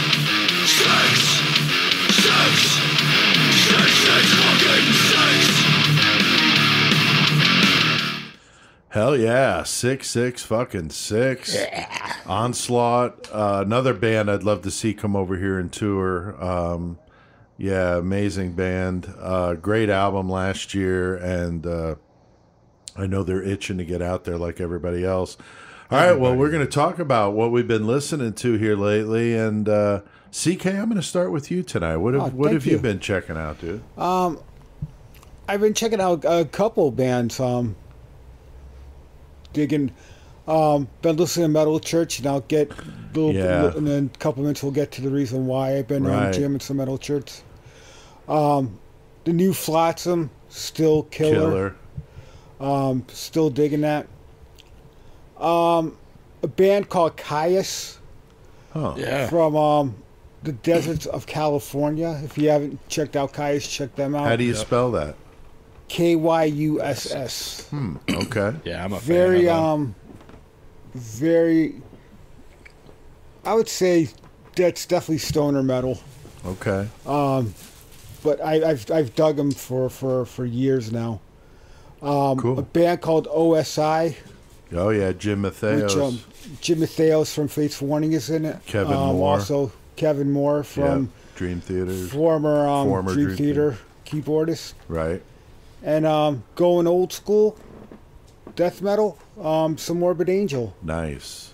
Oh, and and not not to forget him, but I've been listening to um some classic punk by the, Des- the Descendents as well. Hell yeah. Okay.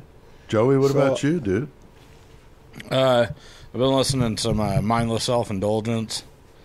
Um, I was listening to Anal Blast, Vaginal Vampire, because uh, Joey. yeah, I Joey love Jordan. those guys. Yeah, Joey Jordison. He fucking wrote some of the. He was he was in the band at the beginning of it, but Oh, not for any recordings. No, I didn't know that. Interesting. Um, and I've been listening to. Uh, I got um, Metallica Ride the Lightning. I was jamming that for a bit, and I can't, can't go wrong with that nope. one. And in the car right now, I got uh, brutal death metal band Cotard Syndrome.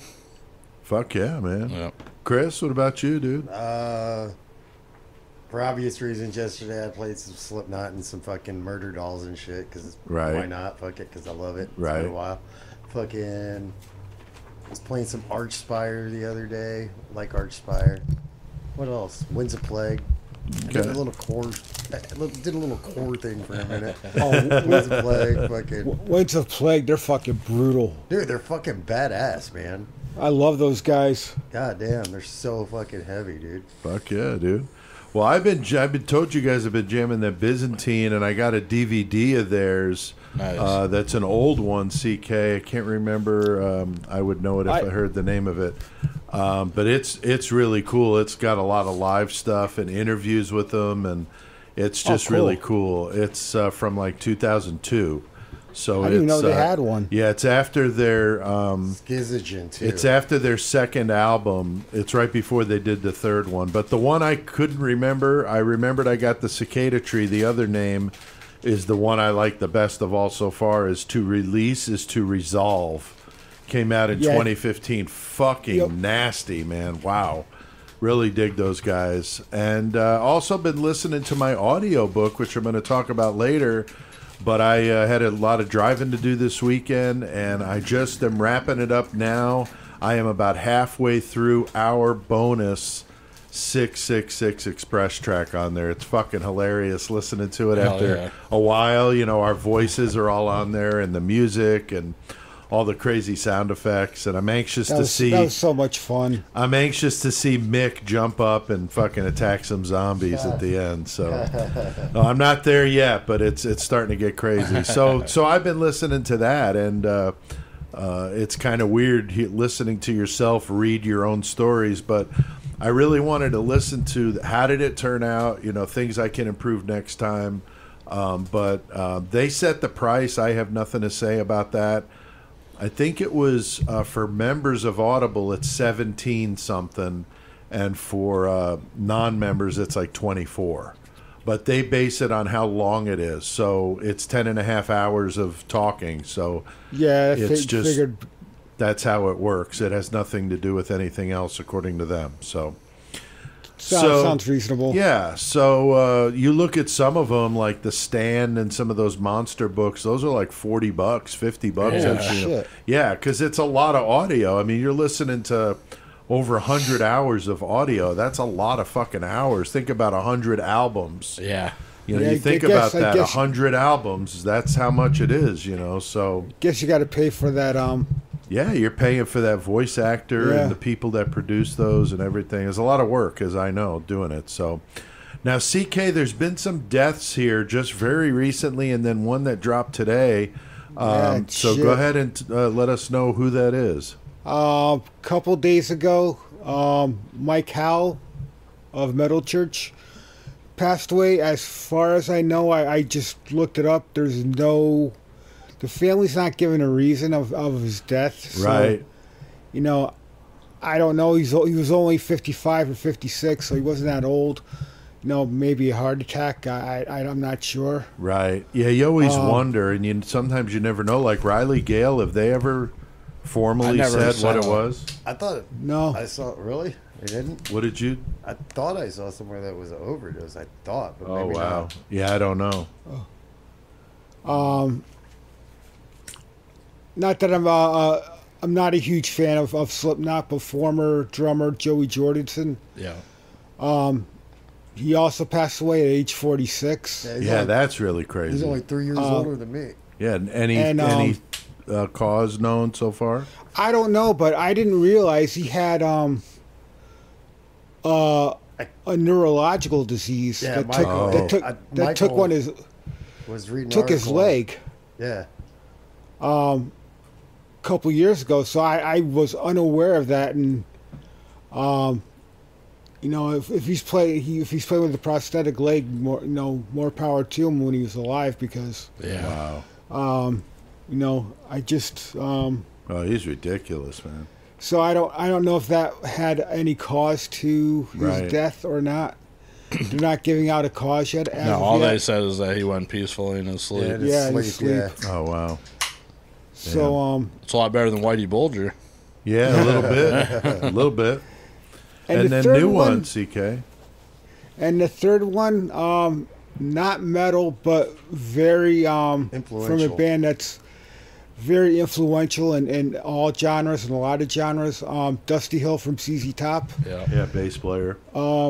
passed away this morning. I believe was also in his sleep. That's what I read. Yeah, he was like seventy-two, I think, right? Yeah. Um, definitely, definitely an influential band, and, and a number of bands have covered um, ZZ Top songs, um, especially Motorhead. Yeah. They they covered one or two. Um, I know they covered um, Beer Drinkers and Hellraisers on their first album.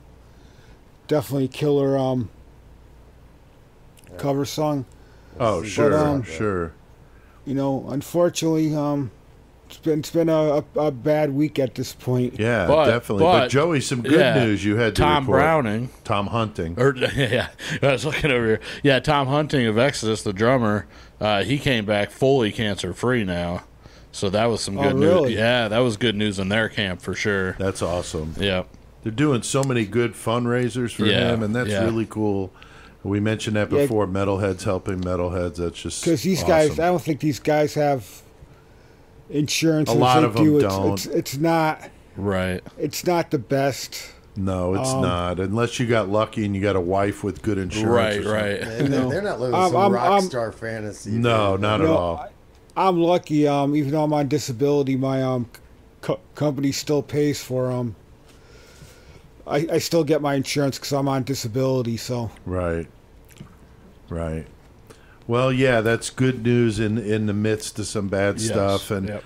we've plugged our six six six club, and that's a good thing, Chris, because that gives them some cool behind the scenes shit. Fucking right. dude. Episodes early, ten percent off merch, karaoke when we do them. If you listen to the Whitey Bulger episode tonight, and you like oh, that. We Oh, you did know an you're gonna wanna hear one. some Capone. yeah, and Three that's a bonus that you get with the 666 club so uh, link uh, is in the episode description you go to patreon.com slash murder metal mayhem three bucks a month and you can become a member of the club and get all that vip brutal access to murder Shit. metal mayhem You ain't got to be If I- patched up or nothing to join our club. that's right if, if, if I if I wasn't a host and got this shit free, I would pay for it. yeah i would too man i would too All right, Joey, you went up to Chicago this week and had a good time doing some goremonger. I did, yeah. I played a show up at fucking Reggie's in downtown Chicago, which is an Fuck yeah. awesome fucking club. Good turnout. Yeah, it was a great turnout. Uh, the place was pretty packed. I played second, and I mean, there was a good amount of people there for it. That's it. a great venue, is right? yeah, man. it was awesome. So and, cool. And the sound was like, oh yeah, out of all the Goremonger sets that I played, like that was top of the line, probably one of the best ones that I played. yeah, I saw Fates Warning there. It was Oh, amazing. hell yeah. they were really good there. So yeah, but I played uh, the Monkey Man Open, which was uh, this dude with an accordion and a monkey mask and shit. He was classic. Oh, nice. Uh, but he he played like a bunch of like fucking video game songs, and shit on his accordion. It was weird shit. But uh, yeah, then I played um, Sacrificial Massacre. Played.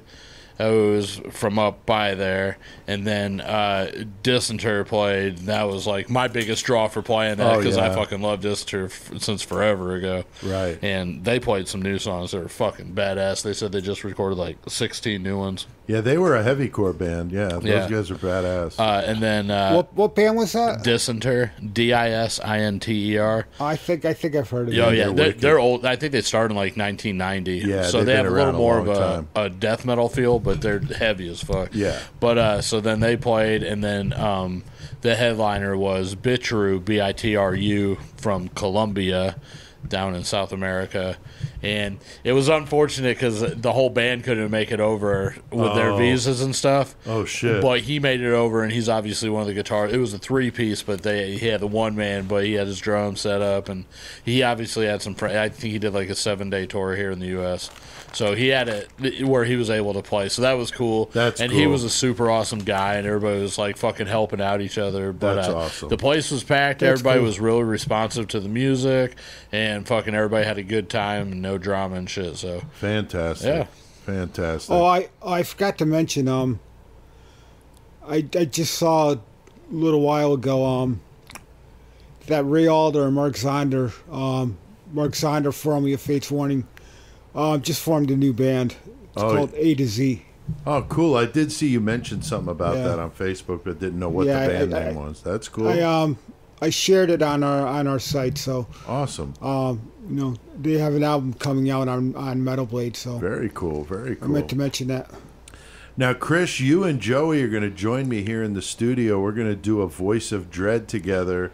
That should be fun. We're going to be talking about. Maximum Come on. Overdrive. you don't like Maximum Overdrive, The Stephen. King short story inspired movie. Uh, yeah, it's it's corny as fuck, but that's what makes it cool. God, I love that movie. Uh, it's so- almost the epitome of all '80s. It is. Yeah. it really is. And we're But gonna have some fun soundtrack. with Yeah. it. ACDC on Yeah, the, AC/DC soundtrack. is the whole soundtrack. Yeah. Yeah, so uh, so very very cool, um, and we've talked about doing this for a while. And I took about six weeks off of Voice of Dread because I had a lot going on with the audiobook and stuff. And now that all that's done, I'm going to start it off again, and we're going to kick it off with a Murder Metal Mayhem Gone Maximum Overdrive and a Voice of Dread episode. right, so That's gonna be weird. a big Fuck match yeah. mashup. Is uh, that'll be fun. Uh, also, we've talked about these shirts we've got the Jeff Gaither design on the front, the zombies. Halloween's coming, Chris. What a better time to buy one of those shirts. Everybody likes to open a Halloween gift. yeah, and you got a fucking zombie image of each of us on the front, and then It's Joey a little blood spatter on the back. Fuck some yeah. Murder Metal Mayhem. So, uh, link to that in the episode description. But pick one of those up. And we've done plenty of metal tonight. So, CK, tell us what the fuck we got to do. We need to get our mayhem on.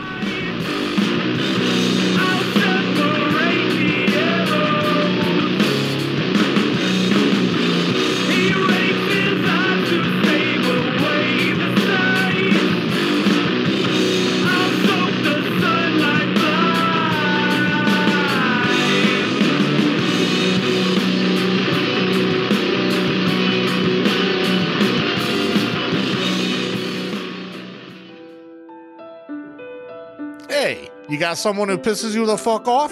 Have you tried to reason with them, but their dumbass just won't fucking listen? Well, contact Bulger Anger Management, Division of Benoit Anger Management, and let us help you. Ed Bulgers take care of this little prick at work. They beat this motherfucker to death in the parking lot one night after work. Shit, he was in the hospital for a month and never came back. With extensive brain damage, I don't think he'll say a damn thing. Literally. Yeah. We take care of business the old school way. Don't worry about that jerk that lives next door with a stupid ass dog barking outside all fucking day. Forget about it. Or the boss that refuses to give you a weekend off when you just need that shit. Just call us at 888 Whitey Kills and mention pain and suffering when you check out for 10% off. Forget about it. I even use Bulges when some asshole cut me off in traffic. With this sweet app, I was able to get someone to do a drive-by and gun their asses down with AK 47s. I could smell the carbon from my car, and it added that professional touch. Let Bulger Anger Management save the stress. Download the app and pain and suffering is just a couple clicks away. Fuck yeah. Oh my god, That's such a good man! one. The Benoit Anger Management Company, Chris, really diversifying Bulger Anger Management. Oh damn, Jesus Joey Christ. doing the Bulger. I I honestly I forgot when that played. Yeah. I was like I heard it for the first time because I forgot Yeah, who forgot. did which voice. I'm voice. it pretty was impressed that hilarious. the voice that I used You for did. the intro is kind of I is noticed kind of close to that I felt one. bad I didn't recognize it. Yeah. After I heard that, I'm like, duh, Yeah. you know, that's Joey's Whitey Bulger. So that was great. And then me and CK playing some callers calling fun. in. And uh, Joey, uh, just, yeah, that was just great. so. Uh, it's always fun to do those Oh, commercials. yeah, for sure. And last, uh, before that was uh, Red Fang and the song Arrow. And uh, CK was good to learn about something we didn't know anything about. Hell yeah. Now, Love of course, guys. we are in mayhem now, and that means we sometimes tell some tales. And CK, You say you got you said you got one, so Yeah, I have one um, from work. Um, now, it's not another shit in the aisle story. no, no, no, that was no. great. Yeah, that was good. No, this this one this one goes back to probably I've been with the company for a year. I was probably seventeen or eighteen. Right? Um, this is going back maybe thirty three years ago because I just hit my um thirty fourth anniversary on July, beginning of July. Damn. believe it or not. So I work I work at a grocery store. Um, I manage now. Hopefully, um, nobody hears us because if half these people heard the shit that we used to do, I, I, I would I would never be where I am now Right. or if if I went back to work. But um, we decided that we were going to go in the cooler because we got everything done early. I think there was four of us. It was at night. We decided we were going to have a wrestling match in the cooler. Well, that sounds fucking Good fun. idea. Yeah. Um, now, got to remember the cooler condensation. You got, you know, it's it's moist on the floor. Right. No, Um, everything's lo- slick. Yeah. You a, guys, a little, a Did little y'all take your shirts off too? No, no. a, a, a little slippery. Um, no, things are going good until one of my friends decided to pick another kid up who was uh, smaller than he was. My friend, Just say small. we'll, we'll, we'll just say his, his name was was Tom. Okay. Was was was a little on the bulky side. I don't want to say fat. That's but, all right. But, but Tom's a big big- dude, and big this guy's dude. a little guy. yeah, big a big boned. Big boned, yes. So he decided he was going to pick the pick the kid up and, and pretend to body slam him. Oh. Well, he picked him up, lost his footing, and there was a pallet on the floor, and dropped the kid on his hip. His hip hit the, the corner of the pallet. Oh, that's not Oh, good, dude. no. Snap. Probably shattered that shit. And um, oh my God, he was as soon as he hit that, he was he was crying, he was in pain, and we're like, what the fuck we do? And and, and, and the kid who, who got hurt goes, I'll just uh, and he's and he's in pain. He goes, I'll just say I, I tripped and fell. You you guys just go go go get the manager and, and get. I got I, I got, I I got your help. back, guys. I got your back. Oh, damn. Um, so you know, he got picked up. They had to call the ambulance.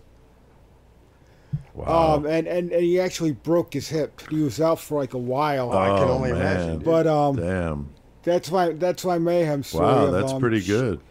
Shit we used to do when um Stupid shit you do at work. Fuck. yeah you know besides doing whippets in the young Right, of course. That's what I Passing thought you were going to say. You did some whippets in the cooler. No, we did those too, and um, me and my buddy, Yeah, those are fucked Um, up. Dude, I'll call him Bill. We um did him until he passed out. Oh man, dude, Chris, I- I you got, got a a quick quick story, yeah. yeah. this is just like last week. Okay. So this is how my week started. Sunday night, I lost my fucking phone. I couldn't find my phone anywhere. So I went to work all day Monday with no phone, everything. So I couldn't listen to no music. I'm fucking pissed off. And that was the last. That was the last day we had to wear a mask. I'm fucking yelling at my bosses. I'm like, I'm sick of this shit, dude. Oh, fucking, damn. uh, not yelling at him, but I'm just like straight up telling him like I'm done. So the next day, I ain't saying it was because of me, but corporate comes back with like, all right, no more mask. So I get off work that day, I'm pissed off, fucking can't find my phone. I, I find my phone. Cool. The rest of the week goes where off. the hell where the hell was your phone? Oh yeah, but my phone was in my couch in the basement, and I don't even remember being in the basement. Oh, by the wow. way, like I, I don't remember being down there at all. But that's where it was. Maybe So- somebody hit it on you. No, I, I'm pretty sure I was drunk and went down to the basement. Probably. Probably. So, rest of the week goes pretty all right, whatever, until Thursday. Me and Michael, we're drinking, whatever. Don't even, we just, me and Michael get into a fucking fight with each other, just start beating the shit out of each other, right? Oh my well, in The, in the middle of all this shit, my phone gets fucking broke. So, yeah, so me and Michael fight the shit out of each other. And then, yeah, my phone broke, like shattered the screen. I'm like, fuck. So now I start the week without my phone. Now I got to end the week without my phone, whatever. So like the next morning I wake up, I got no phone. Fucking Michael's come coming over, fucking because he lives right next door. I look at him, I'm like, what the fuck did we fight about? He's like, I don't fucking know. I'm like, I don't fucking know either. It's fucking Wow. But dude, my fucking jaw hurts. I got this big ass bruise on my leg. What the shit just happened? And your, and your phone's fucked up. Yeah, my phone's fucking jacked, dude. Jesus Christ. So like, I have to go to work, Life at the nation. dude. I had to go to work. I fucking go. I, I'm at work all day, like I said, with no phone. Fucking, uh, my dad was nice enough to take my phone to fucking go get the screen replaced, whatever. Right. So I'm on my way to pick up my daughter when my phone gets finished. So fucking Michael and Sam go to Normal Gadgets to fucking pick up my fucking phone.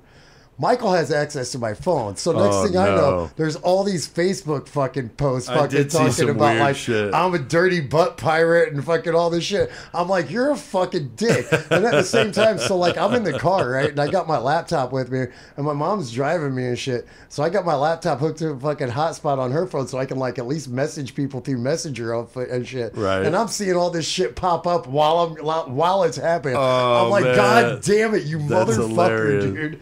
But yeah, that's Oh, fucking man. stupid. dude. Wow. But I got my phone fixed and I got a Good. brand new case for it. So That's good.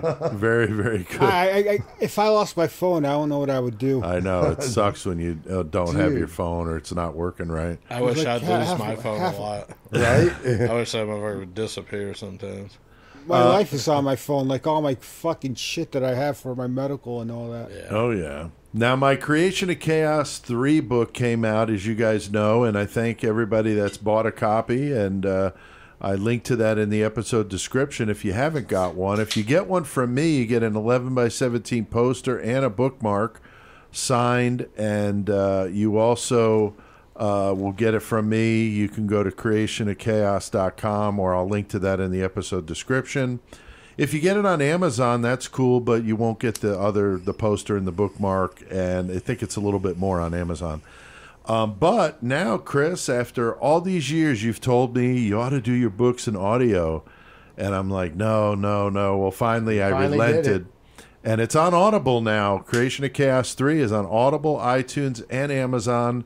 So go check it out. Um, it's very exciting. And uh, I was contacted by the Night Terrors podcast, which I mentioned last week.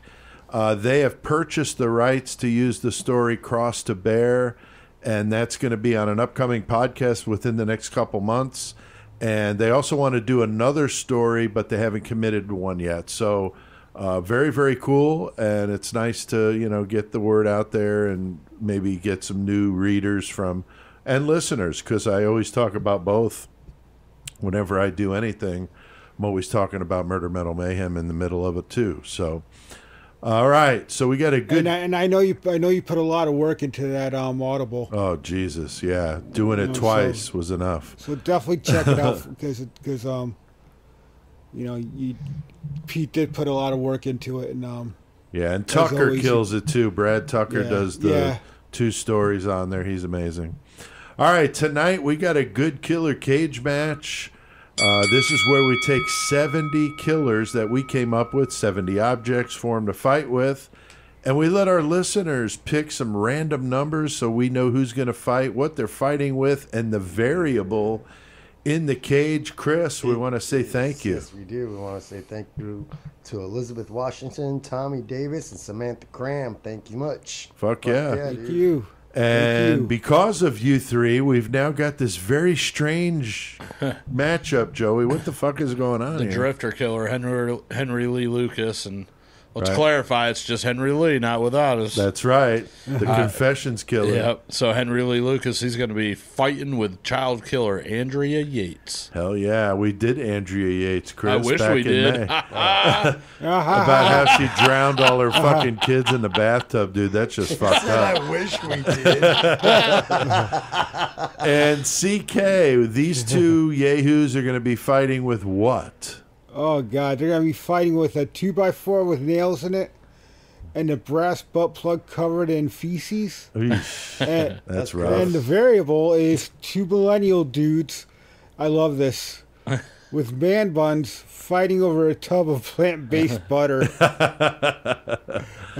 Oh boy. So What the fuck? Now everybody always bitches about going after Joey, so we're Yeah, gonna start I'll with you. off. We're gonna start with you, Chris. What do oh, you me? think? You go ahead. Oh, what do you dude, think? Uh, basically, Andrea Yates is gonna watch these two greased up millennials and be like, "God damn, that's fucking hot." just be like, "I ain't paying attention to nothing but that." wow. Okay. And so, like, in the meantime, fucking Lucas, he's just looking at this butt plug like, did I just take that out of Ottis's ass? I don't know where that came from. And grab that fucking 2x4 with the nails. And he's just going to walk up and smash all three of them, dude. Oh damn, going- Andrea and the Yep, millennials. I'm going with Lucas. I'm going Okay. with Lucas. All right, Chris, uh, CK. What do you think, dude? Um, Obviously, Henry Lee Lucas has the um, upper hand. Um, He's a little Andrea guy Yates, though. She, she, she's mentally challenged anyway, so she's going to be just staring into space. um, you know, wondering what the hell's going on and why is she there. Um, and Henry Lucas is just going to take that fucking baseball bat and just fucking pummel her until she's until she's done. Um, then he then I have to agree with Chris. I think he's he's going to take out the two millennials Okay. because they're, they're, they're just going to piss him off and he's just going to get annoyed and he has to um dispose of them. Okay. Joey. Uh, what I think is going to happen is uh, Henry Lee, he's going to go one way. He's going to go racing for that butt plug covered with fucking shit. Yeah. Right? Andrea Yates, she's going to run the other way. She sees those millennials, and they've got a tub of plant based butter. She's going to drown them in the tub of plant based butter. tub. There you She's go. like, I need to drown these motherfuckers. Somebody say tub. yeah. So she's going over. good, dude. That's she's good. going over and drowning the millennials in the tub. Henry Lee, he's glad to have a little bit of time while she's doing that because he grabs that butt plug and shoves it up his own ass and fucks himself with it for a little while. then he fucking grabs that fucking two by four, runs over after Andrea Yates killed the dudes in the tub, and fucking just smacks the fuck out of her with that motherfucker, knocks her on the ground, sticks the fucking the spiked end in her face and starts stomping on it and fucking kills her. He then takes the fucking remainder of the fucking post with the spikes in it and sticks that in his ass as well. Wow. So he See, wins. that's like that's like that's why you can't go after fucking um Joey. Yeah, I mean, I I don't see how uh, old uh, Henry Lee Lucas is not winning this fight. No, I think whoever all. gets a hold of that two by four, but I think Andrea, like uh, CK was saying, she's kind of out of it. You know, as Italians would say, stunad. Uh, she doesn't know what the fuck's going on, and Henry Lee's going to fuck her up with that two by four, and possibly use the brass butt plug on her. Yeah, he might. And he's got Oh, some of that yeah. plant based butter left, so if the butt plug Oh, needs some lube- help, lube it you know, with he's that. got the tub of butter there. tasty. So, oh. all right. Well, I think we've done our fair share of mayhem tonight. So let's hit that fucking outro.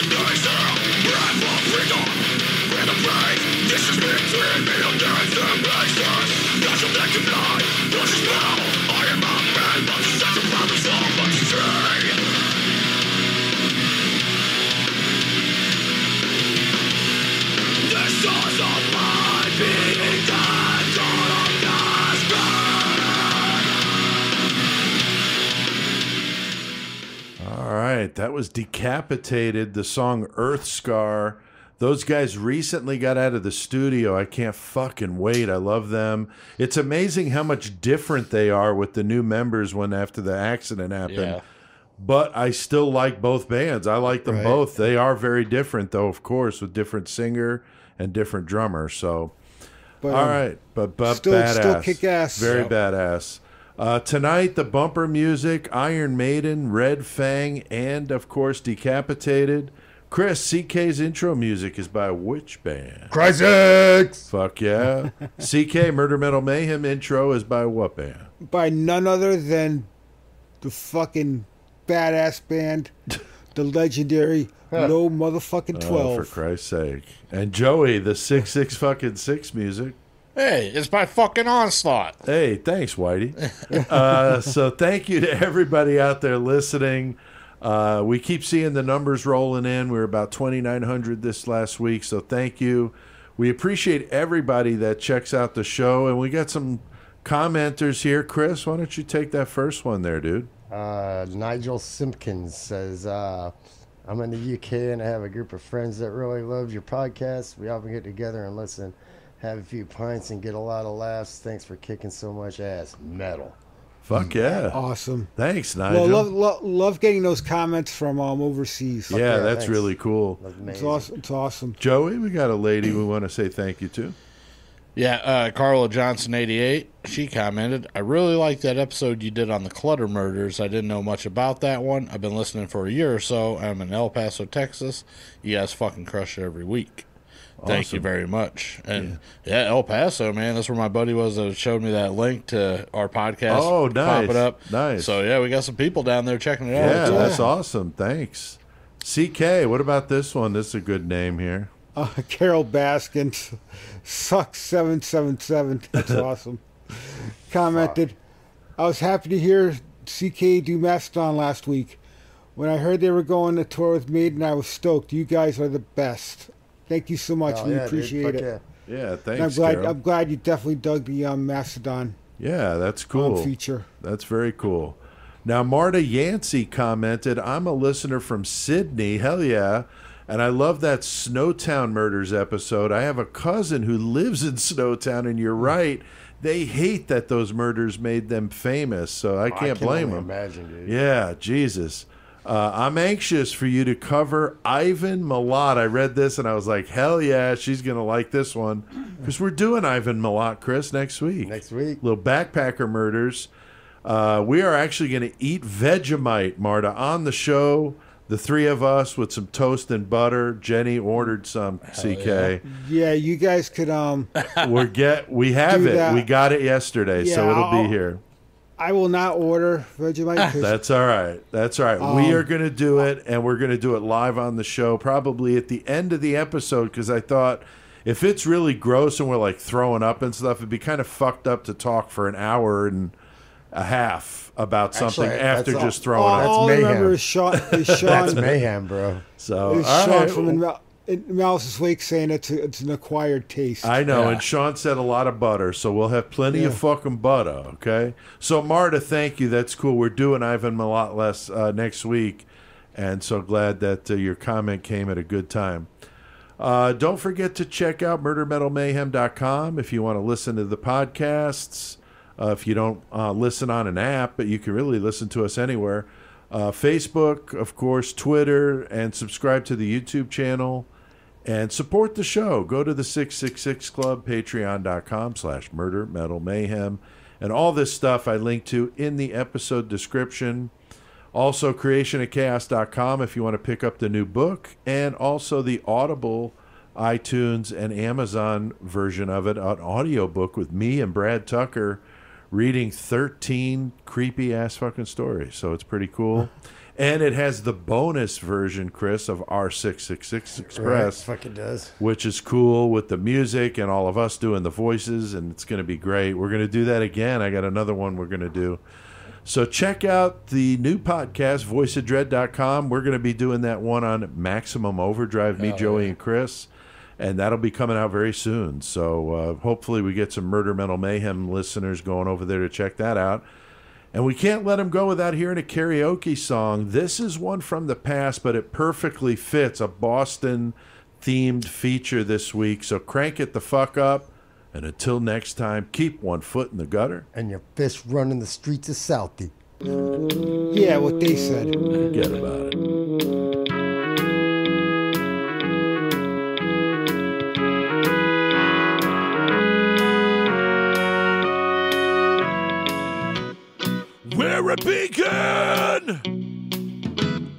I can't begin to know when. But then I know it's growing strong. Was in the spring, and spring became the summer. Who'd have believed you'd come along?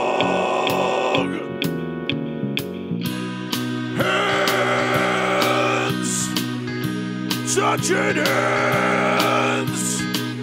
Reaching out, touching me, touching you.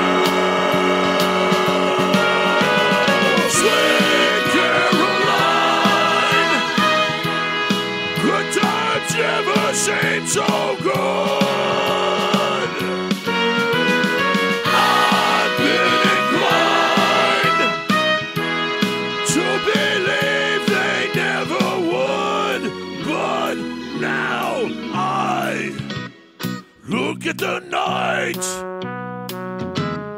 and it don't seem so lonely. We fill it up with only two. And what I hurt, hurt rubs off my shoulders. How can I hurt